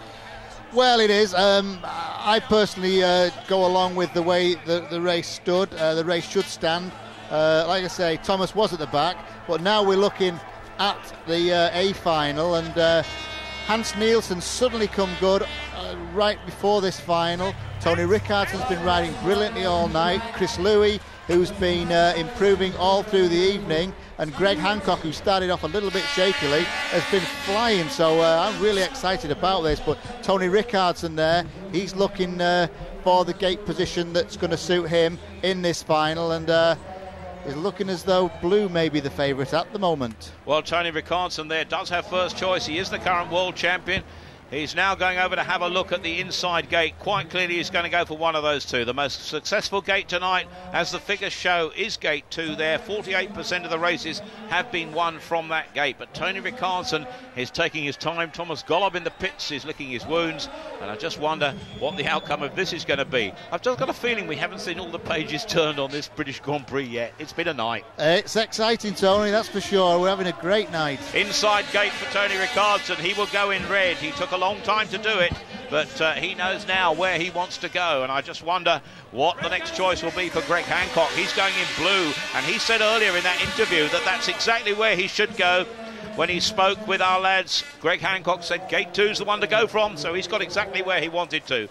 There we wait now for Chris Louis to make his choice. And certainly Hans Nielsen will have, well, they're in white now. We see that's Hans Nielsen going in yellow and Chris Louis in white. Hans Nielsen will go from the outside. Chris Louis will go from gate three. Well, those certainly are significant choices, and uh, I just wonder whether they've chosen right.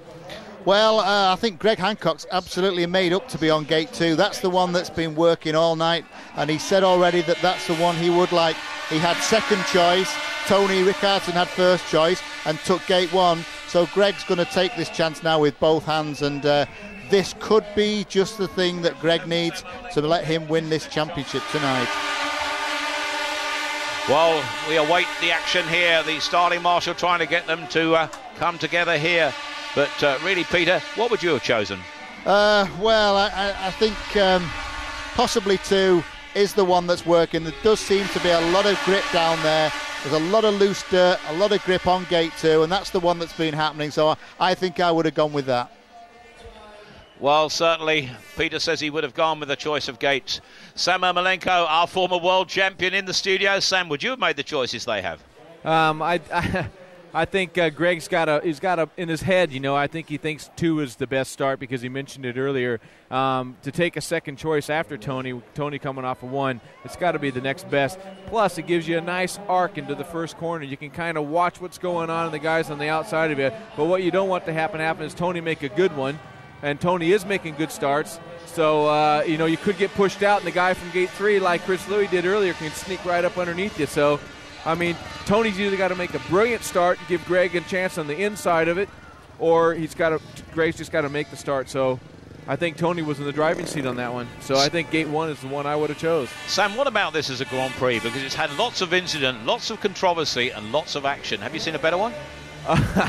Well, I'm a little, I'm a writer, you know. I mean, I look at these things, I'm thinking, darn, you know, this is our sport, and I love it. And uh, some of the things that go on, I don't approve of because I see it behind the scenes. But looking at it from a spectacle here, I'm jealous that I'm not a part of it. I think it's brilliant. You know, this has been, this has been great. And the, there's so many people here. Nice day. Ah, how much more do you want? Well, you've seen the action behind the scenes, of course, with Mario Giroux out. We thought that Sam Ermolenko might be riding tonight and not with us. Well, I wonder what the action would have been like with him. The tapes are now down. We're coming to the final. This is going to be something pretty special. That man in yellow, Hans Nielsen, may be a veteran, but three times a world champion. In white, there is Chris Louis, Britain's hope. Wouldn't it be great if a Brit could win the British Grand Prix? There is Hans Nielsen, though, who'll be outside him in yellow and black. What are the chances, Peter, for Chris Louis? Well, I think it may work to Chris adva- uh, Chris's advantage with Hans being on the outside of him. You know, Chris has only got to just put this one start together now, and he could become the champion, uh, British Grand Prix champion. And I think that he's possibly able to do that. I think he can lift himself. We've seen him before when it really counts. He can raise his racing, and uh, I really wish he can. I hope he can, and I'll be cheering for him. Well, a great race in prospect. Four laps, remember, the final heat. This is the grand final of the British Grand Prix. We have in this event three former world champions plus Britain's captain Chris Louis. they could hardly be better. The cream of the World Speedway riders, perhaps with the exception of Thomas Gollob. On his home track, Greg Hancock in gate two must have a great chance. Tony Rickardsson, of course, experienced world champion. There's the lineup. Rickardsson on the inside. Hancock goes from gate two. Chris Louis, gate three. Hans Nielsen goes from the outside in yellow and black. That's the lineup. Four great riders. Four great laps in prospect as the starting marshal moves away. Away we go. Norman Keating's done a great job tonight, but they're picking it up. Bisto. Look, going wide. It's Hans Nielsen going a completely different route to everybody else and picking up the speed off the bend. But at the apex now and in charge is Tony Rickardsson. But still Hans Nielsen goes round the outside. Coming through on the inside is Chris Louis. Louis up to second place. Nielsen's at the back. Rickardsson in front. Extraordinary tactics at the back by Hans Nielsen. Yes, Hans missed the start. He went very wide, but look there, Tony Rickardsson. He's got a commanding lead, but Chris Louis all over him. Chris has got a good advantage now. They go down the back straight there. He's really chasing after Rickardsson. Chris has got whatever he's doing, his bike's working really well. He seems to have Hancock now beaten. A lap to go. Hancock beaten into third place. Chris Louis in second. But Rickardsson probably now out of reach as they go into the final lap.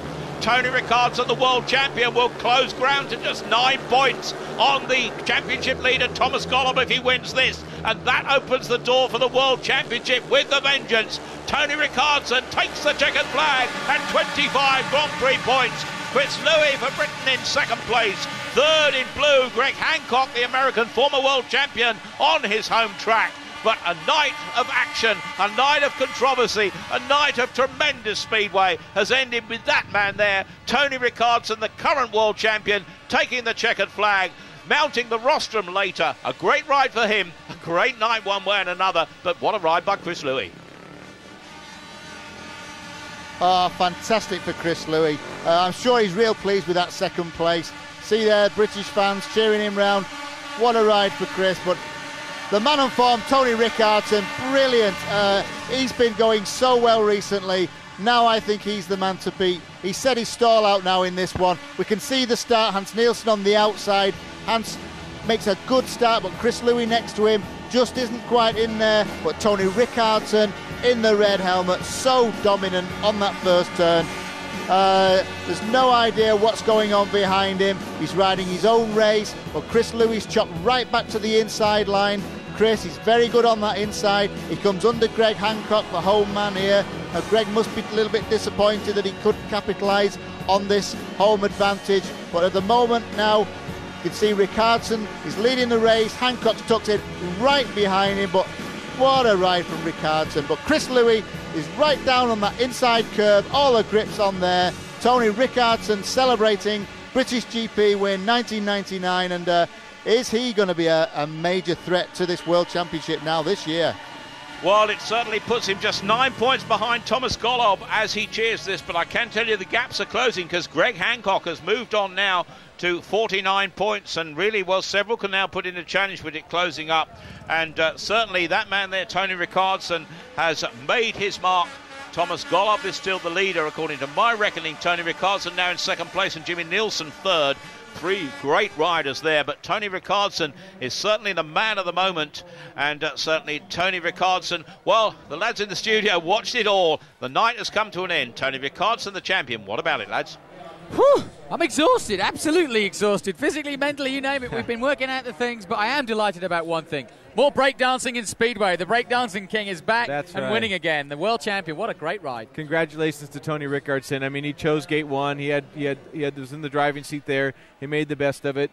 You know, unfortunately, my fellow American Greg Hancock kind of looked like he off he had off foot going into the first corner and didn't have a challenge and never got the rhythm. And Chris did a great job for England and come back in there and get that second place. I'm, I'm particularly happy for Chris. Uh, we mentioned him as, as the program uh, went on about how he was desperate to do well here, and he's done exactly what he needed to here. um, it really was exactly no more he could have asked for. I really. think I think all the Brits did well. They all fought. I mean, Joe Screen came in there hard. Mark Loram as a wild card proved that he's one of the top contenders in the in the Grand Prix runnings.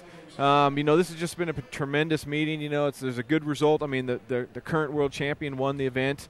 Um, he was unlucky not to win or not to have a chance when he got excluded in the first round. Um, over the years, the guy that won the first round, which was in uh, Prague this year, won the Grand Prix, and, and that was Greg Hancock. Uh, Thomas Gollob won it this year. Tony won it the first year when he won the championship. So it's a long road now. We got two more two more rounds. And I think significance, obviously, in the in what's happened in terms of the championship, because it's now somewhat wider open in the fact that Dob- Thomas Dollop still leads it with 75 points, but Tony Rickardsson now with 66, just nine behind. Jimmy Nilsen slips back; he's 10 behind. But with two Grand Prix left, we're headed for a real showdown, aren't we? I tell you what, it's going to be exciting at Thomas's home track. I mean, he won it there last year at um, Bydgoszcz, but you know, it was one of my favorite tracks. I rode there for three years with Thomas, and it is a great racetrack. And if you can understand how to ride it hard, which I think uh, Tony Rickardsson, Jimmy might be a little bit, I don't know, but we'll see what happens. Oh, there you go. I got my break dancing. There he is. All right. Well, we can see there the results. And yeah. Tony Rickardsson. Well, they got they got it slightly different than we have, but yeah, but um, we know that Thomas Gollob's still leading it. Tony Rickardsson second on 66. They're just missing Thomas Gollob with 75 points there. And as it run down the line there, you can see that what the other guys are up against there. So these are the guys that got to go fight in the challenge if they don't keep going, you know. So there's a there's a bit of a gap. Got to put you on the spot now. Um, all this season, the vibe has been Thomas Gollob, Thomas Gollob and you know, Hancock and all the other guys have sort of drifted by the wayside. Now we've got a completely different situation. No longer just Jimmy Nilsen. We've also got Rickardsson in there now. And when you see the way he performs and the way he does, like he did tonight, you've got to say that with two Grand Prix to go, he's still in this, isn't he? You know, uh, Thomas Gollob is a, is a true, truly good rider. So is Tony Rickardsson. Mm. Um, what we got going here is this is probably not the favorite track for Thomas Gollob. As we said, it's one of the difficult tracks for him.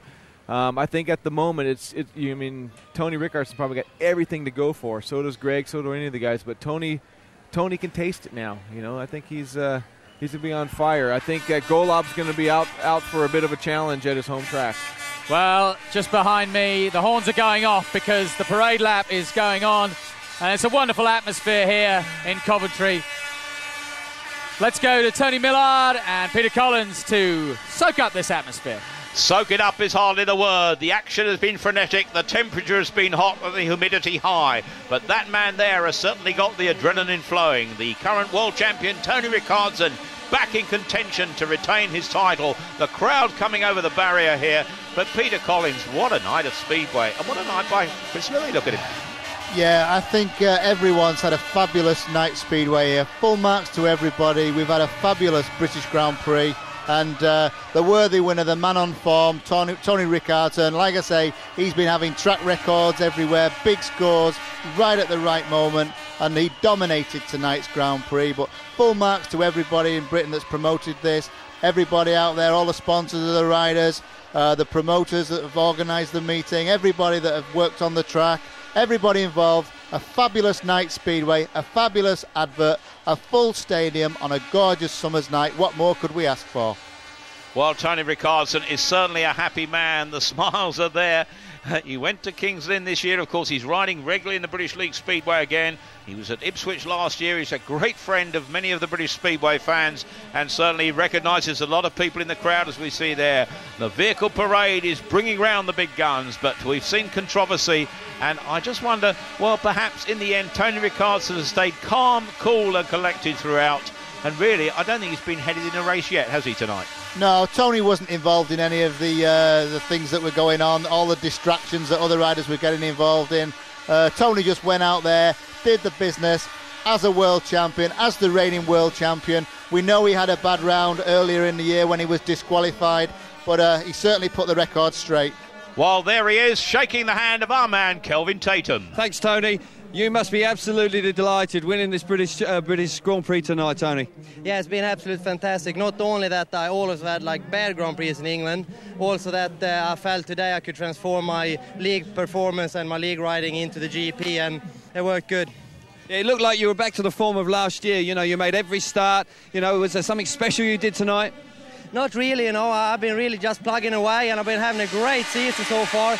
It's just been the the GP got a big rock from the first meeting when I got excluded, and after I haven't really got into the groove, but now I'm back and I'm feeling really confident before the next one again. Very well done, Tony. Congratulations. Enjoy your evening now. Back to yeah, yeah. back to uh, Tony and Peter. Well, I have to tell you, Tony Rickardsson forewent a bit of golf this morning. He's psyched himself up. He has his own camper van on site. He stayed at the track the last couple of nights, and he knows what he's doing. We've seen there. Well, there is Chris Louis. Listen to the British fans cheering the Union Jack, and he's proud of it. The Great Britain captain really well, so near and yet so far for him, but he did well, Peter. Yes, he did. We know Chris has been struggling in the GPs this year, but this has put the record straight. He deserves better than to be struggling at the back, and he's put his name right up there. And what a ride tonight to get second place. He's had some brilliant meetings in the past here at Coventry, and he's done the same again tonight, and he's done the British fans proud. Well, fifth in the Grand Prix Series last year, Chris Louis, the only one of two British riders to make a main final in the Grand Prix Series. The other one, of course, was Mark Loram. Greg Hancock to the third place man, but now it's glory time. Their race director Ole Olsen sends up the man of the moment. There is Tony Rickardsson. The garland will be put from Tor Kittleson around his neck. The cup is presented as the British Prix title holder to Tony Rickardsson. Martin Ochiltree there among the presentation party, his family having run this stadium for many, many years. And it really is a special occasion and certainly a triumphant evening for the promotion of British Speedway. And a great evening with a kiss. Perhaps he sealed it for Tony Rickardsson. Well, look, he's got enough to carry as he goes up. It's a balancing trick.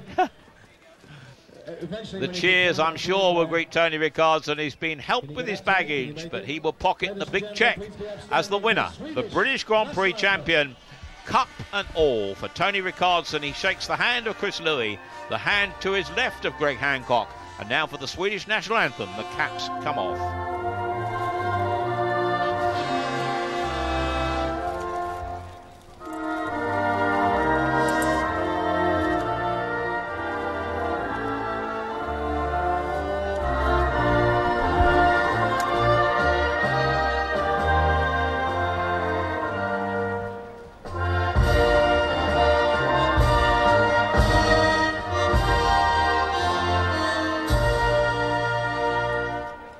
Ladies and gentlemen, Tony Rickardsson is the Grand champion of Great Britain. And Well- here come the fireworks. Tony Rickardsson then. The Swedish flag, the fireworks. Brandon Stadium is lighting up. For the Swedes, it's a happy night. Greg Hancock content with third place. Chris Louis and the British fans absolutely delighted, I'm sure, with his performance. But uh, a marvellous night for Speedway as the cameras gather in front of the dais to greet the winner here, hidden from us at the moment, but the fireworks are there. The champagne will be bubbling in just a moment, and Tony Rickardsson will remember this night for a long while. Perhaps the world champion reborn as the gap is closed now on Thomas Gollob with two Grand Prix to go. More figures on that later. But the champagne now is bubbling. What a waste of a good drink, Peter. well, we know it usually flies everywhere rather than uh, in the riders' mouths, but uh, it's been fireworks all night, hasn't it? It's been fabulous. Uh, fireworks on the track and off the track, Tony. But now the champagne's flying. We can see there. Hats off. Hats off to the Swedes. Well, our own champagne Charlies are still in the studio. Sam Malenko and Jonathan Green. Tony, where's your sense of humour? We always throw the champagne when anybody wins anything, right, Sam? That's I mean, right. you've got to do it. I just hope that Tony drinks lots and lots and lots because I'm racing against him on Tuesday, and if he's on that form, it's going to be pretty tough. He is looking awesome, and you know you heard in that interview, he really is.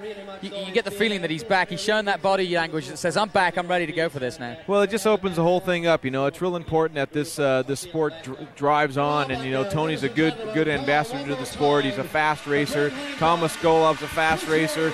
So I mean, it's just going to make the last couple of rounds really exciting, and I can't wait to see them. All right, well, let's just uh, quickly check on what we were talking about earlier, which is the standings, of course. And there it is. Thomas Gollob leads it with 75 points. Remember, two Grand Prix, 25 for a Grand Prix win.